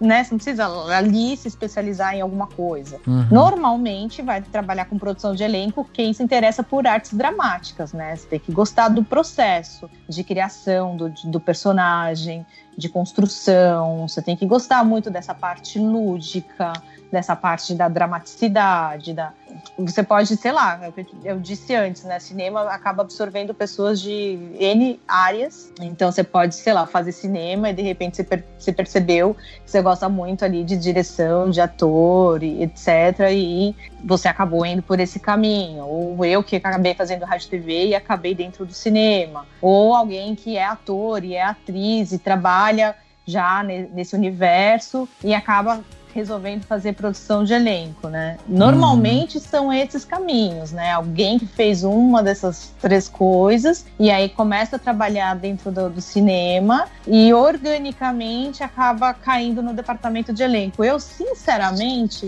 bem observado, pensando agora nessa resposta aqui para vocês, eu não conheço ninguém que falou, ah, eu fiz faculdade pensando em ser produtora de elenco. pois é. Ah, com 15 anos decidi fazer produção de elenco. É, todo mundo que eu conheço nessa área meio que acabou caindo ali, é. porque gostava muito de cinema. Eu, a minha trajetória foi, eu sempre gostei de cinema, queria trabalhar com isso, e eu achava que eu seria diretora. Mas era uma visão muito romântica que eu tinha da, da direção, né? É aquela coisa, você não trabalha com cinema, você sabe que tem um milhão de funções, mas qual que salta os olhos? Ah, o diretor. O pessoal até fala, né, que quem começa a fazer curso de cinema, se você for fazer uma pesquisa, vai, vai sair de lá 90% diretores. Pois é, todo que é o que todo mundo pensa, né? Vai fazer cinema, ser diretor de cinema. Uhum. E aí você vai, você conhece a máquina. Primeiro que você percebe que para fazer direção não é para qualquer um e não é por uma questão técnica, né? Qualquer um pode estudar e virar diretor. Mas, enfim, requer, uma, requer um estilo de vida que não seria para mim. Uhum. E aí eu percebi isso lá, vivendo. Eu falei, fudeu, né? Porque eu amo isso aqui, mas ao mesmo tempo não é exatamente o estilo de vida que eu quero ter. E agora? Vim aqui achando que eu seria a super diretora do rolê e, né, eu comecei com uma assistência de direção. E talvez não seja muito a minha praia. Aí eu fiquei meio perdida no começo. Falei, putz, ferrou, porque eu amo isso, mas ao mesmo tempo eu não sei se é o meu perfil, eu não sei se eu não me vejo fazendo isso daqui 20 anos, exatamente isso, sabe? Uhum. Aí comigo foi uma questão muito, eu falo, foi a vida, foi o universo, foi eu desesperada falando, me ajudem, pra onde eu vou? é, porque daí eu conheci um ator no filme que eu tava trabalhando como assistente de direção, e ele falou assim pra mim, ah, você conhece a Diana? Eu falei, não, que Diana? Diana Galantini, uma produtora de elenco? Eu falei, não, eu não conheço, eu tinha acabado de entrar no cinema, não conhecia quase ninguém. Ele, ah, vocês são tão parecidas, você tem a mesma energia que ela, acho que vocês se dariam super bem, vocês são muito parecidas. Eu falei, ah, que legal, ela é produtora de elenco, é, e morreu esse assunto. Beleza, Sim. passou esse dia. Aí, meu, terminou esse filme, eu entrei nessa crise de tipo, pô, cinema é massa, é muito legal, mas assistência de direção e futuramente direção não sei se é muito o meu perfil. E agora, gente, para onde que eu vou? Será que eu errei? Será que eu não devia ter feito essa faculdade? Será que eu não deveria estar aqui? Ah, uhum. de economia. Ó oh, vida, ó oh, céu. Ó oh, vida, ó céu. Aí eu lembrei desse, desse papo. Um dia eu já tava. Eu terminei o filme e falei, ah, eu preciso de um tempo, eu preciso descansar, eu preciso pensar o que eu quero fazer. E aí fiquei uns cinco meses sem trabalhar.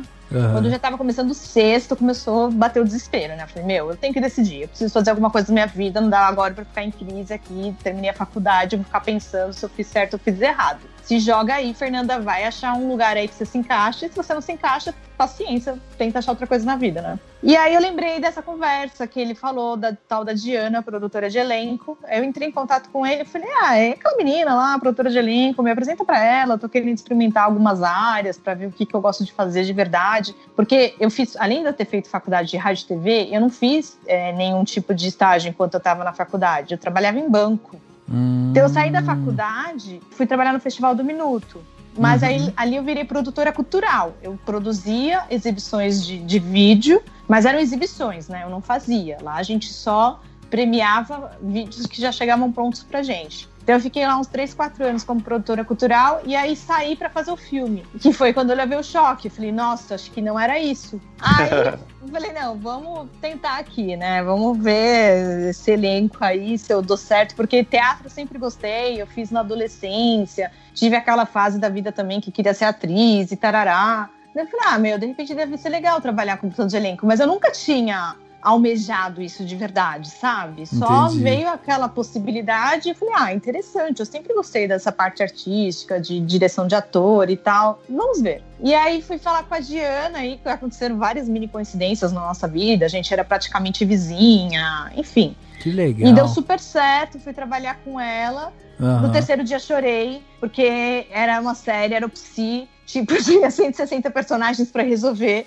Aí ela fez uma reunião e a gente faltava, sei lá, um mês para filmar o ah. primeiro episódio e faltava ainda fechar metade dos personagens. E, meu, tava muito fodido, assim, sabe? O projeto com os prazos. E aí terminou a reunião, só que a, a, assistente de direção, ela ia falando os nomes dos personagens e os nomes que o diretor tinha pensado para cada um, e eu não conhecia nem o nome da maioria dos atores. E eu já, quando a assistente de direção ia falando os nomes, eu já nem sabia se ela estava falando o nome de personagem ou de ator. E a, a, Diana tinha pedido para mim, falou assim: olha, tudo que ela falar, para cada personagem ela citar os nomes que o diretor pensou, você anota para mim. Meu, virou um bololô, parecia um papel de pão, porque eu já não tava entendendo ali quem era personagem, quem era ator. E eu falei, meu Deus, eu perdi alguns nomes que ela passou. Aí terminou a reunião, comecei a chorar, tava de TPM, chorei. Aí a Diana olhou para mim e falou: Você tá chorando? Eu falei, tô. Ela, por quê? Você tá muito ferrada. Não vai dar tempo de fechar esses personagens. Ah, não vai dar certo isso. E ela já, tipo, fazendo isso há 10 anos, mais acostumada com a pressão sei lá do que. Eu acabei de chegar, tipo, com dó dela e chorando porque ela não ia conseguir, eu não ia. Eu falei, você precisava de alguém com mais experiência, eu não vou conseguir te ajudar. Eu nem sei quem aqui é personagem, quem aqui é ator, eu não sei esses nomes, não conheço ninguém. Ela, meu, para de chorar, imagina, você tá louca? E, tipo, e fomos de fomos. Hoje ela é minha uhum. melhor amiga, assim, a gente é super amiga, trabalho bastante com ela. E aí eu fui entendendo, né? Ali realmente é, tava um, um prazo apertado, mas também não era nada demais. Eram personagens que eram mais simples, que a gente fez, já tinha teste pronto, era apresentar pro diretor, enfim, de fato sei lá, uma semana depois teve uma reunião com a HBO, foi todo mundo aprovado, deu tudo certo, e eu percebi que eu entrei em desespero muito cedo. mas aí, no início, eu fiquei assim, falei, gente, mas tá, é uma loucura isso daqui. Só que daí eu senti, sabe? Foi tipo, uhum. tipo, quando eu percebi o que, que era, era, sabe, a construção dos personagens junto com o diretor, dirigir teste, pensar em alternativas, pensar em possibilidades, pensar Aí eu falei, nossa, é aqui, me encontrei, é isso. Era uhum. exatamente isso. E, e, é muito louco, porque se eu tivesse entendido o que fazia um produtor de elenco anos antes, eu acho que eu já teria direcionado a minha carreira para esse lugar. Mas é isso que a gente ah, falou aqui, né? A gente tem muito poucas informações, a gente não uhum. entende muito bem o que cada um faz, aí você fica naquele romantismo de, ah, eu vou, fazer, vou ser diretora. Eu até queria deixar claro, assim, porque às vezes, uh, assim, às vezes tem gente que é entusiasta de cinema e não entende isso e tal. Eu acho que isso se conecta com o começo da nossa conversa, quando a gente estava falando justamente desses profissionais de entretenimento, de cinema e tal, que são apaixonados pelo que eles fazem. Porque isso que a Fer narrou aqui pra gente é muito sintomático dessa área, que é isso assim, tipo, a galera quer produzir, quer colocar a mão na massa, quer contar história e tal. E aí quando você senta com, com as pessoas ali para discutir um roteiro e tal, e aí alguém pega e fala: "Meu, seria legal ter um ator tal". Tem alguém da produção, tem alguém ali que pega e fala: "Viu, eu passo a mão no telefone, eu arranjo contato, eu vou dar um jeito, não sei o que, a gente vai tentar esse ator tal". E aí é disso que nasce essa coisa da, do produtor de elenco, sabe? É da, do, de quase uma coisa voluntária assim. Então, a galera que tá hoje fazendo faculdade de cinema, é, a galera que tá estudando de repente por conta, fazendo EAD, não sei o que, essas coisas, às vezes as pessoas falam, pô, eu, eu não encontro um, um, curso de especialidade, né, em produção de elenco e tal, mas é, é que o cinema tem muito disso da vivência, né, de você tá ali falando, meu, vamos fazer, vamos, então tá bom, o que que precisa fazer? Bom, vou contar uma história, essa, essa história vai se passar numa casa, tá, qual casa? Quem tem a casa? É, vai precisar de dois, três atores, tá bom, quais atores? Quem conhece ator e tal? E nisso você vai se moldando ali. E aí, quando você vai fazer a segunda vez, a terceira vez, você acaba chamando aquelas pessoas que meio que se voluntariaram para fazer aquilo. E aquelas pessoas começam a ganhar esses títulos. Pô, essa daqui é a produtora de elenco. Porque quando eu fui fazer meu curta lá, e eu tinha minha equipe lá de produção, ela que pegou e ela que arranjou os atores. Nem sei como que ela fez isso, mas ela achou lá. E aí, beleza, virou a nossa produtora de elenco agora. E aí, depois, obviamente, né, que com o tempo, você fazendo e tal, você vai ganhando ganhando essa experiência e daí você vira um produtor de elenco e tal, como a Fer é, renomada, né? Fez séries e tal. Então, aí é outra coisa. E eu digo isso até, Fer, porque eu fiz produção de elenco para para comercial, né? Para parte comercial já. E eu fiquei muito perdido, principalmente porque no meu caso a gente ia ter ainda ator mirim e ainda tinha o lance de, de, sabe, uso de imagem com ator mirim não sei o que, então tinha que envolver advogado e papapá. E aí foi uma coisa que meio que você tem que aprender ali na, na raça mesmo, sabe? Porque não tem ninguém assim que fala, não, calma aí, vamos, vamos organizar isso, vamos criar uma, uma metodologia e tal. Então é uma coisa bem é, voluntariosa, assim. E eu acho que isso que é uma das belezas também do cinema, que conecta com o que a gente estava falando no começo, né? Que é essa paixão pela arte, a paixão por querer contar história e você tá envolvido de alguma forma nessa arte de contar história, né? É, na verdade, assim, dentro de cinema e de publicidade, não é tão voluntariosa assim, né? A gente não consegue. eu, é isso que eu falei, eu acho que é uma produção proativo, sem o produtor de elenco. É. É. Então, assim, eu entendo que em, em trabalhos menores, com menos verba, ou sei lá, curtas, coisas mais independentes e tal, você pode ter até alguém que não entende muito bem fazendo aquela função. Mas quando você profissionaliza o processo, aí não tem como ser alguém que não entende muito bem, né? Você pode uhum. ter um alguém que esteja começando na sua equipe, um, um, segundo assistente, um estagiário. No caso, eu já fui essa pessoa que cai ali de paraquedas e chora no terceiro dia porque não está entendendo nada. Mas é uma pessoa naquela equipe que está respondendo alguém. O teu chefe, o teu superior, ele tem que ser alguém que resolve, né? Sim, sim. Então, não, não é bem essa questão, pelo menos não dentro de, de, de cinema de publicidade, não é uma questão muito voluntariosa. Assim, tem que ser alguém que tenha os contatos. Porque ninguém vai poder perder tempo ligando para agência de ator para discutir detalhes do trabalho. Tem que ter alguém para fazer isso, e é o produtor de elenco, entendeu? Assim, é uma parte muito grande, muito onerosa do processo que não tem como não ter. Uhum. E aí isso vem um pouco de encontro com o que eu queria falar, que é essa questão no, no Brasil, assim, eu não posso te dizer muito lá de fora, que eu não sei como é que é, mas aqui ainda falta muito da questão da profissionalização desses processos, né? Sim. Dessas especializações. Então a gente está, nós mesmos, no mercado, os profissionais que trabalhamos com isso, estamos nos organizando para tentar profissionalizar. Então, assim, cada, os assistentes de direção, os profissionais do departamento de direção de arte, os figurinistas, os maquiadores, agora nós, os produtores de elenco, a gente está fazendo cada um suas próprias associações. Que, dentre várias coisas, regulam, inclusive, a gente vai tentar regular cursos, sejam eles livres ou não, para dar acesso à, à área. Então, que por legal. exemplo, produção de elenco. Não existe um curso formal que prepare alguém para virar um produtor de elenco. Então vamos pensar em fazer. O que, que a gente precisa fazer? Tem várias coisas acontecendo. A gente tem até uma questão de nomenclatura da nossa função lá no Ministério do Trabalho. Então já tem um processo rodando para que essa função seja reconhecida, gere um DRT específico dentro dessa função, porque assim é uma burocracia difícil. Eu não posso abrir um curso dentro de uma universidade para uma profissão que não é nem reconhecida no Ministério do Trabalho. Vocês entendem? Uhum. Então a gente está primeiro com esse processo em Brasília para registrar o cargo do produtor de elenco, exatamente como ele é, como ele funciona, porque existe hoje lá um produtor de elenco registrado lá num código X que é uma definição terrível, assim, tipo, o produtor de elenco basicamente é a pessoa que escolhe, é o profissional que escolhe pessoas e assina contrato. Essa é a definição do produtor de elenco lá em Brasília. Uhum. E não é, né? É uma coisa muito mais complexa e muito mais profunda que isso. E assim, então a gente precisa arrumar isso, a gente precisa regularizar a profissão, e aí a partir dessa regularização, pensar em, em, como que a gente pode preparar profissionais para serem produtores de elenco, sem necessariamente ser uma coisa assim, como aconteceu comigo e como eu vejo que acontece com a maioria das pessoas que estão nessa área. Você faz cinema, você se interessa pelo assunto e aí você vai indo, conhecendo e fala, nossa, olha isso aqui que legal, vou fazer. Não, você não tem que passar por um milhão de, de, de experimentações para conhecer o, a função e aí para entender se você gosta dela ou não. Você pode ter essa informação antes, você pode ter uma formação específica sobre isso. As coisas não precisam ser assim como o cinema normalmente é, mas está mudando, mas ainda é hoje, da gente sabe na prática. Sim. Aí vai lá, faz essa direção. Ah, não é isso. Então vai lá agora e tem elenco. Ah, não foi isso. Ah, então agora vai para o departamento de arte não, porque uhum. embora seja cinema, são coisas muito diferentes entre si. A gente tem que já chegar com isso um pouco mais aguçado na nossa cabeça, um Perfeito. pouco mais limpo, de entender o que, que a gente quer de fato fazer.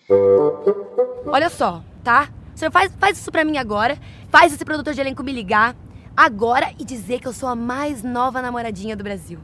Hum?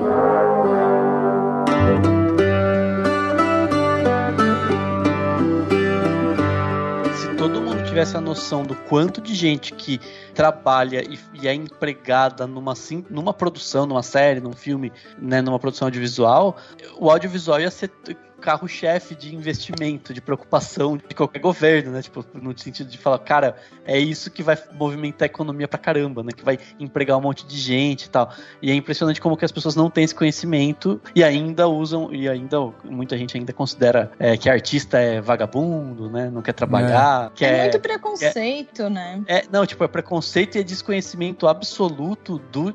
Porque só, só, se você, só de você ver essa questão do tipo, cara, um financiamento que eu consigo para uma, uma temporada de uma série, o tanto de gente que vai trabalhar naquilo, né? E que vai é. gerar movimentar Nossa, a economia. Só, só, com esse pensamento, você já teria isso como foco principal. Fala, gente, vamos, vamos fazer isso como, né, assim, principal investimento de economia de um país, praticamente. É, Quatro, entendeu isso como mercado, né? Os Estados Unidos, né? É, então, são que... E aí são o que são. Então, assim, é muita burrice mesmo, não tem outra palavra. Esse preconceito que, que se gira em torno do mercado de cinema, de que ah, artista é vagabundo, é tudo maconheiro, é tudo sei lá o quê, tarararará, atrasa, porque é um mercado que emprega muito, gira mais a economia do que a indústria farmacêutica aqui no Brasil. Uhum. Então, assim, é um mercado aquecido, todo mundo consome muito, é, a gente consome muito série americana, série gringa e tal, mas série brasileira também e material brasileiro é muito consumido no Brasil. Tanto é que a Amazon tá vindo com força para produzir aqui, a Netflix já está produzindo bastante, a HBO já produz aqui há bastante tempo. A gente tem a questão da lei, né, da, da produção, do, do, audiovisual, mas fora isso, a própria Netflix, eu li uma matéria da Netflix falando que produz bastante no Brasil, porque os produtos, as séries brasileiras têm uma ótima audiência aqui dentro. Sim, o brasileiro ele gosta de consumir. Por incrível que pareça, né? Normalmente a gente, quando é cinema principalmente, rola esse preconceito, né? Da gente falar, ah, não gosto de filme brasileiro, sei lá, filme brasileiro. Mas as séries estão tendo uma grande receptividade pelo público brasileiro, estão tendo uma grande audiência dentro dessas plataformas de streaming. Então, assim, eles estão produzindo aqui porque realmente é interessante para eles. Eles viram que é um mercado grande, porque o Brasil é enorme, e um mercado grande que consome. Inclusive, acho que tinha até novela da Record, né? Há pouco tempo atrás, lá, Jesus e tal. Não sei se tem ainda. Mas porque até esse tipo de, de, de conteúdo, eles perceberam, pô, colocaram ali na plataforma, teve audiência. Então, assim, não vou aqui entrar no mérito da qualidade, se deveria estar ali ou não. Mas a gente tem um mercado que consome.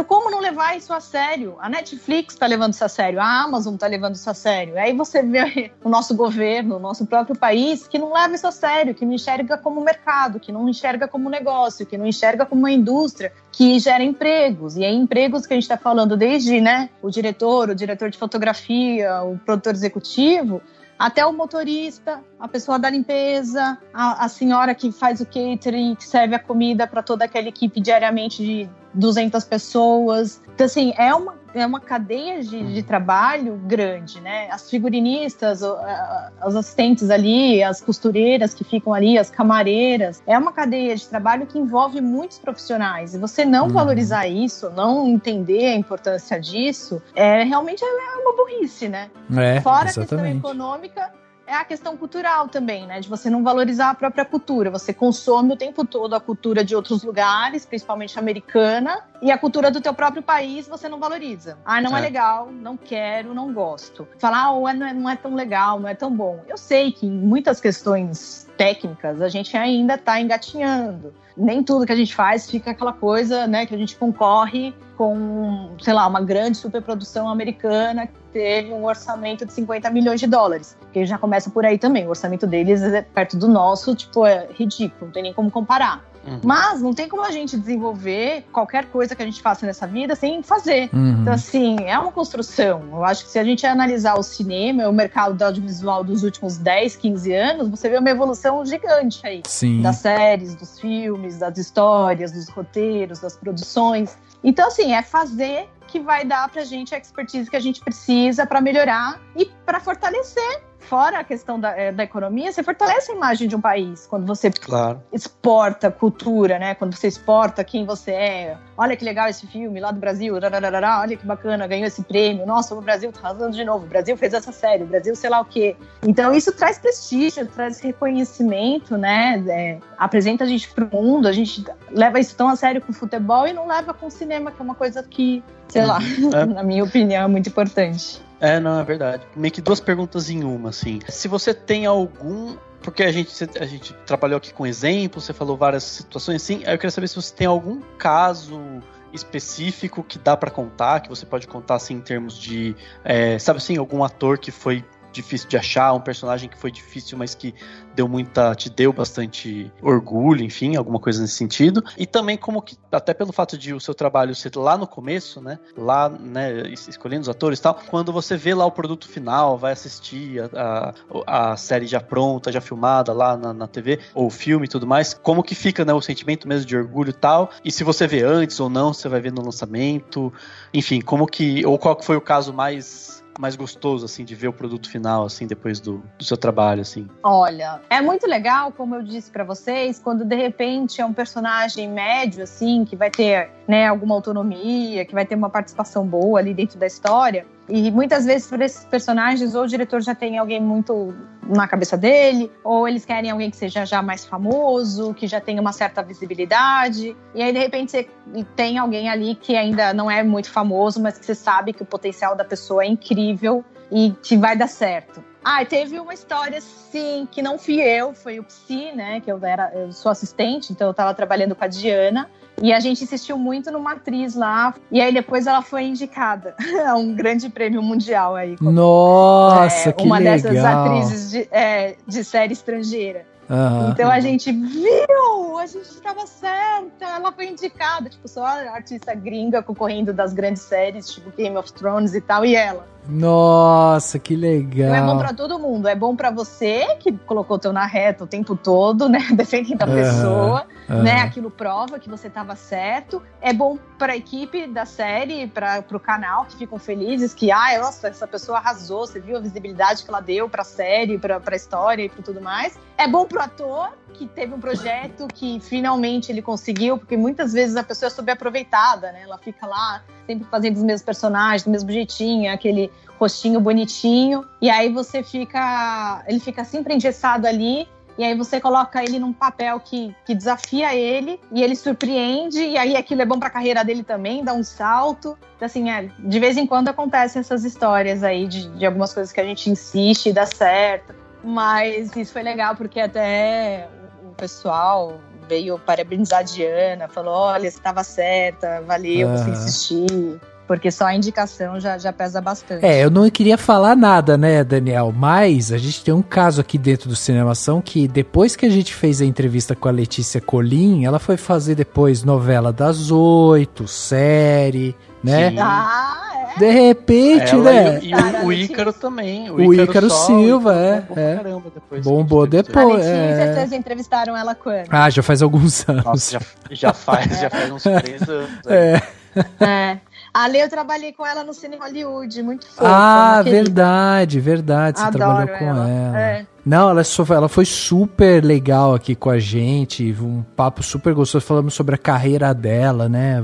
É, desbravamos isso, então foi, foi muito bacana mesmo. É, ela é muito querida. Deixa eu te perguntar, Fer, só pra gente terminar esse, esse papo aqui com você, né? Que o tempo passa voando, mas é, a gente vai ter que ir pro nosso plano de detalhe daqui a pouco. Então, pra Uhum. gente encerrar esse papo, eu queria te fazer uma pergunta, uma pergunta meio provocação também, pra você ajudar também a gente a olhar pro mercado, pelo seguinte, quando o Rafa veio aqui, né? O Rafa da Sala Edição, seu marido e tal, a gente trouxe junto com ele a Sabrina, é uma editora e tal. E aí, em um determinado momento, eu perguntei pra ela justamente sobre ela sendo editora, mulher, fazendo essa parte que é muito atrelada aos homens, né? Uhum. Eu imagino que a parte de produção, produção de elenco e tudo mais, seja uma parte que tenha mais mulheres trabalhando com isso, mas eu queria a sua visão perante a isso, sabe? Como que você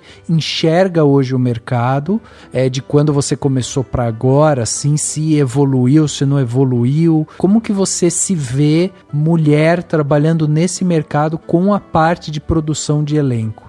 Bom, na produção de elenco, realmente é mais mulher, né, que, que tem né, nesse departamento, mas a gente é uma exceção, né, porque o cinema é majoritariamente é masculino. Quase todas as funções é, você vai ter muito mais homem trabalhando do que mulher. Porém, sim, isso está mudando, graças a deusa, nesse caso.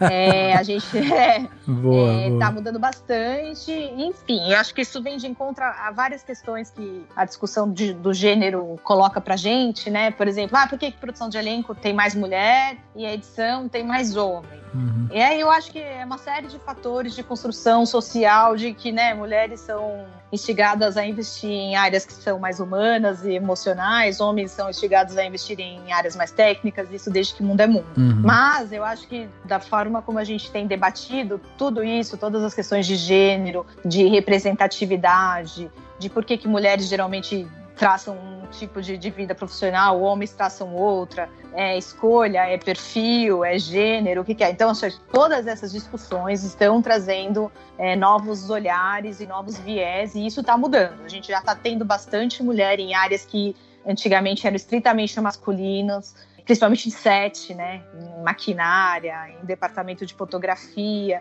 As meninas estão chegando, estão ocupa ocupando seus espaços. Ainda é né, uma área bem desequilibrada nesse sentido, é bem masculina, mas está começando a haver uma oxigenação de, de mudanças de paradigmas nesse sentido, e é muito legal. E aí a gente está se organizando enquanto mulher, né? A gente tem grupo Mulheres do Audiovisual, outros grupos de, de mulheres específicos, que é onde a gente tenta se fortalecer. Porque, né, como qualquer área que é predominantemente masculina, ou predominantemente qualquer coisa, para um outro grupo chegar e conseguir né, tomar seu espaço, é difícil. Então a gente tenta se organizar enquanto mulher para que a gente consiga, consiga acessar esses espaços, para que isso seja mais democrático, para que não exista sexismo, para que não se contrate diretores de fotografia apenas porque são homens, mas para que existe essa pluralidade, né, dentro dos departamentos, ou que não se contrate uma diretora de fotografia porque ai, é um comercial sobre margarina e a família feliz, vamos chamar uma mulher porque a mulher é delicada e vai. Não, tem que chamar a mulher, ela pode fazer, se ela é boa no olhar dela para dirigir a, a, o comercial do Jeep, chame a mina para dirigir o comercial do Jeep também, entendeu? Uhum, Então a gente uhum. está conseguindo quebrar esses paradigmas, está tendo muita discussão em relação a isso, as pessoas estão pensando, a gente está se fortalecendo,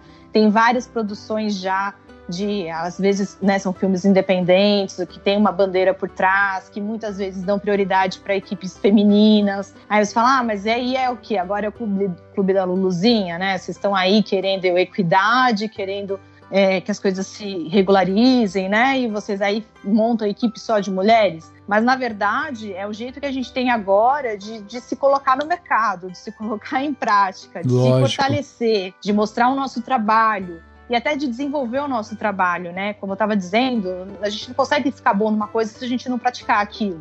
Sim. Temos uma diretora de fotografia que é chamada num ano para três trabalhos, enquanto um cara é chamado para 15. Uhum. É óbvio que esse cara vai desenvolver mais, se ele trabalhar mais. Então vamos dar espaço para as minas trabalhar também, entendeu? Uhum. Se é experiência, se é espaço que falta para ela conquistar a experiência que ela precisa, para ali adiante ela tá tão boa quanto esse cara, tecnicamente falando, vamos dar espaço para ela, vamos abrir aqui então. Ó, vai, vamos fazer esse filme aqui, vai ser só mulher, porque a gente vai se fortalecer, a gente vai ter espaço, a gente vai trabalhar, a gente vai criar a experiência. Então tá tendo bastante união nesse sentido, tá sendo bem legal e, sei lá, daqui 10, 20 anos a gente vai ter um cenário um pouco mais de equidade dentro do cinema. E também muitas questões de assédio, né? Uhum. Era o set é muito masculino, então assédio era uma questão muito naturalizada. Você convivia Uhum. com assédio o tempo todo e você tinha que lidar com aquilo. E aí, a partir do momento que agora a gente está denunciando, a gente está questionando, mas esse tipo de comentário eu deveria estar ouvindo isso aqui, né? Aqui é meu ambiente de trabalho, eu não dei essa liberdade para essa pessoa. Por que, que ela está falando assim comigo? Não gostei. Então, assim, a gente está trazendo muitas questões à tona nesse sentido da, do assédio. E isso já sinto que está começando a mudar também. É, no começo era briga, né? Os caras ficavam putos e falavam que as minas tinham mimimi, que a gente reclamava de tudo e tá, tá, tá, tá, tá, tá, tá, tá, tá. Mas é sempre assim, né? Quando você tem um absurdo e esse absurdo é normatizado, é. todo mundo pratica o absurdo. Aí um dia que alguém acorda e fala: Meu, vocês são loucos, isso é um absurdo a maior parte das pessoas não querem admitir que estão ali praticando o absurdo. É, o primeiro momento é, é. negar. Não, Exato. vocês são loucas. Vocês reclamam demais. Isso foi só um elogio. Ah, não posso falar isso agora? Meu Deus, que mundo é esse? Blá blá blá, politicamente correto. Só que não, a gente batendo de frente e mostrando por que, que é errado, por que, que não é legal. Então agora você percebe que tá começando a ter uma mudança dos caras entenderem o nosso ponto de vista e assimilarem e estarem já mudando de comportamento, não até porque, ah, se eu fizer isso, vou arranjar briga e tal. Não. É Uhum. porque estão entendendo mesmo, pelo menos parece, estão entendendo que isso é um absurdo, que não se fala, que não se faz, que não é um ambiente para aquilo. Então, assim, eu tô otimista nesse sentido. Muitas vezes eu, eu vou pras tampas, assim, fico, ai, não tem jeito, o mundo é assim, a gente se conforma, que senão a gente morre de, de nervoso.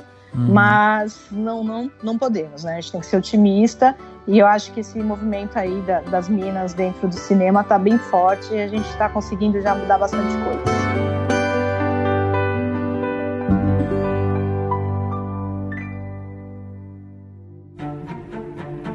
Dicas para a sua semana? No Plano Detalhe.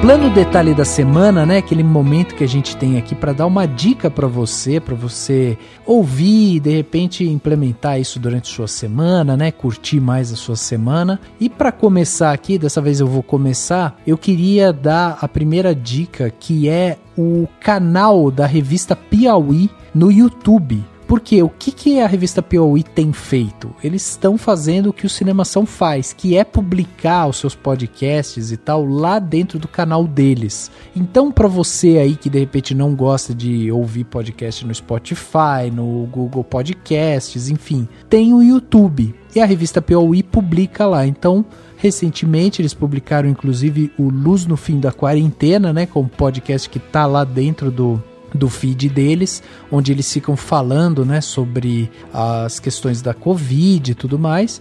E aí esse canal é uma ótima, uma ótima oportunidade para você entrar lá no YouTube, você dá o play, deixa tocando e tal, e não precisa ficar se preocupando com, com mais nada, né? Então eu acho uma boa dica para você. Outra dica legal que eu tenho aqui é o canal também da GNT, o canal da GNT no YouTube, eu acho muito legal o jeito que eles montam, né, os seus conteúdos e divulgam e tal. Então, Um dos programas que eu gosto bastante lá, que vira e mexe eu assisto, é o papo lá com o Porchat. Eles ficam contando histórias e tal, e o Porchat traz alguns artistas, né, para contar histórias da vida deles. Mas esse é um dos programas. A gente tem também lá Papo de Segunda que o Porchat faz com Emicida e tudo mais, uns papos muito legais mesmo. Tem também recentemente eles fizeram uma série, né, mostrando, falando sobre partos, muito interessante também. Então eles vão falar sobre parto normal, parto humanizado e tal. Então tem umas coisas bem bacanas lá. E agora recentemente, né, a Jujut tem feito alguns vídeos e colocado lá também. Então, assim, o canal do GNT é uma variedade de, de conteúdo que tem saído. Tá muito legal de acompanhar porque os papos são esses papos leves, são papos reflexivos e tal. E eu acho que é um, uma ótima pedida, assim, principalmente agora pra gente que tá em casa, que tá tentando entender, né, o que que tá passando. Um canal leve, um canal reflexivo com vários tipos de histórias, não precisa assistir tudo, obviamente, mas tem de vários gostos. Então fica hoje esses meus dois planos detalhes aí, dois canais de YouTube que eu acho que vale a pena de se acompanhar, tá bom? Fer, e você, estreando aqui no podcast do Cinemação, tem dicas para os nossos ouvintes? Tenho. Eu ia falar, meu, do podcast da Piauí. E aí você falou do site. Adoro também. O Foro de Teresina. Gente, adoro, adoro. Muito bom. Então, eu reforço essa indicação. Mas aí, como você falou de YouTube, eu lembrei do Sesc, que agora, por conta da pandemia, eles têm uma hashtag que eles criaram que chama Em Casa com o Sesc. Então, a página uhum. deles no YouTube, eles estão colocando uma série de, de, espetáculos, tanto de teatro quanto de música. Que legal! Que eram espetáculos, eu não sei se já estavam previstos na programação deles desse ano e que tiveram que ser cancelados, né, as exibições, e aí eles resolveram colocar na internet para que as pessoas possam ver de casa. Então tem um monte de peça de teatro lá interessante, tem um monte de show, é, tem bastante coisa legal, e é dentro da página do Sesc do YouTube, tudo de graça, tudo acessível lá, então acho bem interessante, já que a gente não tá podendo ir no teatro, Sim. mas de alguma forma a gente continua tendo esse contato, né? Muito bom. Acho que é isso. E uhum. assistam bastante séries brasileiras, assistam as séries que eu produzi. tem a Hebe, tem o Cine Hollywood, que está reprisando na TV, com ótimos uhum. índices de audiência.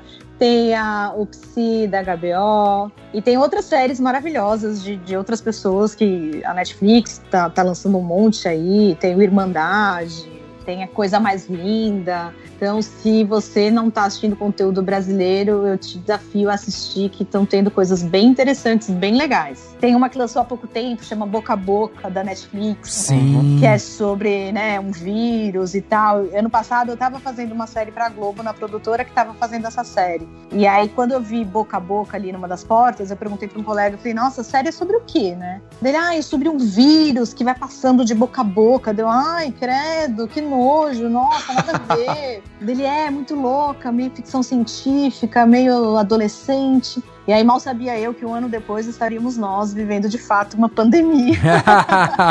é. e, né? e a Sim. série lançou bem no meio desse assunto. Parece que ela foi feita de propósito para isso, mas foi só uma triste coincidência, mas a série é muito legal, vale a pena. Que legal, que legal. Muito bem, tá aí então. Lembrando, né, que tudo que a gente está indicando aqui, tudo que a gente está falando, links estarão aqui no post desse podcast. Então, se você não pegou alguma coisa, não entendeu e tal, pode ir no post do podcast, tá tudo lá listadinho que cada um falou e tal. É só clicar e você vai ser direcionado para o que a gente está falando aqui. E aí, Dan, e você? O que, que você trouxe aí? Pra gente encerrar esse plano de detalhe dessa semana? Eu trouxe três podcasts, três episódios de podcasts, tá? Legal. Primeiro, é, eu quero indicar o SciCast 381, que é o podcast que eles fizeram sobre língua inglesa, né? O título do episódio é Língua Inglesa. Foi, na verdade, é com base nele que eu fui ouvir os de língua portuguesa que eu indiquei uns episódios atrás. E fica aqui a indicação desse também. É bem interessante, eles falam sobre a origem da língua inglesa, sobre, enfim, como que ela foi criada e tudo mais, falam sobre elementos dela que a gente usa hoje em outras, no português, ou que são, enfim, dão dicas, fazem brincadeiras e tal. É bem legal bem interessante. E aí eu queria indicar também o episódio do podcast que eu não conhecia, confesso que eu não conhecia, chama Caviares, porque eu acho que ele é de uma, de uma turma que se, né, se, se denomina esquerda caviar e tal. é, se auto, é, né, re, é, pegou o termo para eles e tal. Ah. É, e, e esse podcast, o episódio específico, eles entrevistaram a Elisa Lucinda. O, o título do podcast é Poesia a essa hora, né? E uma interrogação. Eles aham. discutem a questão da importância da poesia, de se, de se ouvir, ler poesia em períodos de pandemia, em um período em que tá todo mundo meio enlouquecido e tal. É sensacional. A, a Elisa Lucinda declara poema no, no, no meio do episódio, critica o logo deles, achei maravilhoso, porque ela tá lá, ela fala do logo deles, fala que eles deviam corrigir, porque o logo deles não é tão. É, Enfim, tá- faz uma, um pontuação, uma, uma pontuação meio, meio de crítica, assim, né? A forma como eles colocam lá o caviar no logo deles. Aham. É, mas é um papo ma- muito maravilhoso, assim, muito gostoso de ouvir, Pra pensar mesmo na, na, na poesia, pra dar uma daquele quentinho no coração, sabe, de, de de arte, sabe, de uma forma bem legal, assim. Uhum. Então é um episódio bem gostoso de se ouvir. E tem um que saiu também recentemente do Mundo Freak. Que é um podcast super famoso, né, pra quem não conhece, mas um- eles fizeram um chamado As Areias de Duna, que eles falam sobre o primeiro livro, Duna, né, do Frank Herbert, que é um livro que eu indiquei também há um- alguns podcasts atrás, é porque eu li, e aí eu fiquei animado pra ouvir o podcast quando vi que saiu. O podcast é muito bom, muito bacana, explica algumas coisas bem legais de Duna, vai um pouco além, falando um pouco dos livros seguintes, né? Mostra todas as críticas que se tem e tal, né? mas ele é muito legal porque ele vai ajudar, mesmo, mesmo que se a pessoa não leu o livro e não tem tanto problema com spoiler, se bem que eles pontuam também o tempo do spoiler, então você pode ouvir só o começo, por exemplo, Uhum. mas é bem legal porque eu acho que é pensando aí no cinema internacional aí. Em breve vai ter um filme do Duna que tem tudo pra ser um grande estouro. Provavelmente não na data que estava planejada, mas enfim. E é legal que você já vai se preparando pra isso, pra conhecer um pouco, né, dessa obra que é uma obra de ficção científica bem, bem interessante.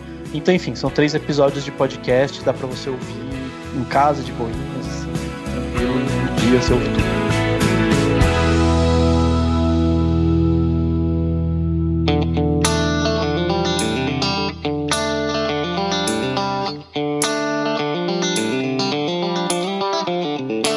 Chegando aqui, né, no final desse podcast, podcast Cinemação 380, batemos esse papo aqui sensacional com a Fer, a Fer que tá estreando, né, Fer, em podcast ou não? Você já tinha participado de algum? Não, primeira vez. Aí, Primeira- aí. Fiz algumas participações especiais ali no do Rafa, um dia dando uma opinião, fazendo uma vinhetinha, mas só isso. Ah, entendi. Só participação especial. Depois que o mosquitinho chegou, é, É, difícil. pica Ai, e... o Rafa fica todo dia, ai, faz um podcast, faz um podcast. mas eu fico nessa brincadeira aí de ser influencer, mas eu acho que eu tenho muita preguiça. Mas Fer, queria agradecer sua presença aqui com a gente, ter doado o seu tempo para vir explicar pra gente, né, elucidar tanta coisa bacana, deixar claro, né, um pouco sobre mercado, como que as coisas estão funcionando, essa profissão que como a gente falou aqui, muitas vezes acaba não sendo tão explicadas assim. Então, é legal da gente ter uma pessoa como você que tá ali com a mão na massa. Por isso que eu quis começar esse episódio falando de uma operária mesmo, né? Porque é uma pessoa que às vezes fica ali e a galera não sabe mesmo. O grande público fica focado ali no nome do ator e tal, e não sabe quem que escalou aquele ator. Então, a gente trouxe a feira aqui para trazer esse essa esclarecimento aqui pra gente, né? Bater esse papo aqui. Então, eu queria agradecer esse tempo que você teve aqui com a gente e queria também pedir para se você tiver rede social, site, enfim, o que você tiver que as pessoas possam de repente acompanhar mais o seu trabalho, ver o que você tá falando, você tá pensando, tá reclamando do governo e tal, enfim, algum lugar aí que possam te acompanhar, onde que te acompanham. Bom, sou mais ativa no Instagram, Legal. mas lá é bem misturado mesmo, né? Não é nada profissional, é profissional barra pessoal. Então no Instagram eu sou Fer underline Scheffer. Uhum. E no LinkedIn, Fernanda Scheffer, eu deixo lá um pouquinho dos trabalhos que eu já fiz, das produtoras e etc. E é isso por enquanto. Fora isso, não, não tem nenhum outro meio de, de contato, não tem um site, nada muito específico, não. Legal, beleza. Perfeito. Então, obrigado, Fer, mais uma vez pela sua participação. Foi ótimo, adoramos. Maravilhoso. Ah, eu que agradeço o convite, muito legal, me senti muito à vontade, tava meio assim, né, tipo, ai, que vergonha. A hora que vocês falaram, pensa numa frase, pensa numa dica, eu falei, fudeu, por que não falaram isso pra mim ontem? É, a gente sempre esquece. É isso, tem que ser assim, tem que ser gostoso, tem que ser suave, senão fica que nem a criancinha lá que decora. Eu ia chegar com uma frase aqui super brega, decoreba. Nunca desista dos seus sonhos, né? É, é. Clarice Lispector. Então, ainda bem que não foi assim. Ai, Demais, ai, é obrigado. Obrigado, Dani, também pela sua presença aqui, mais um podcast. Valeu, gente. Obrigadão, obrigadão, Fer. Valeu, Rafa. Todo mundo que tá ouvindo, lembre-se sempre desse podcast quando der aquela vontade de chorar no trabalho. Lembra do podcast, sabe que tudo vai ficar bem. É isso aí, vai, tudo vai ficar bem. É isso aí. O podcast Cinema são 380 fica por aqui e a gente se vê no próximo.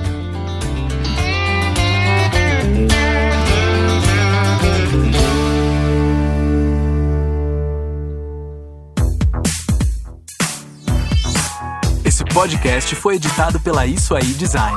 Tudo isso é forma com função. É design estratégico. É isso aí.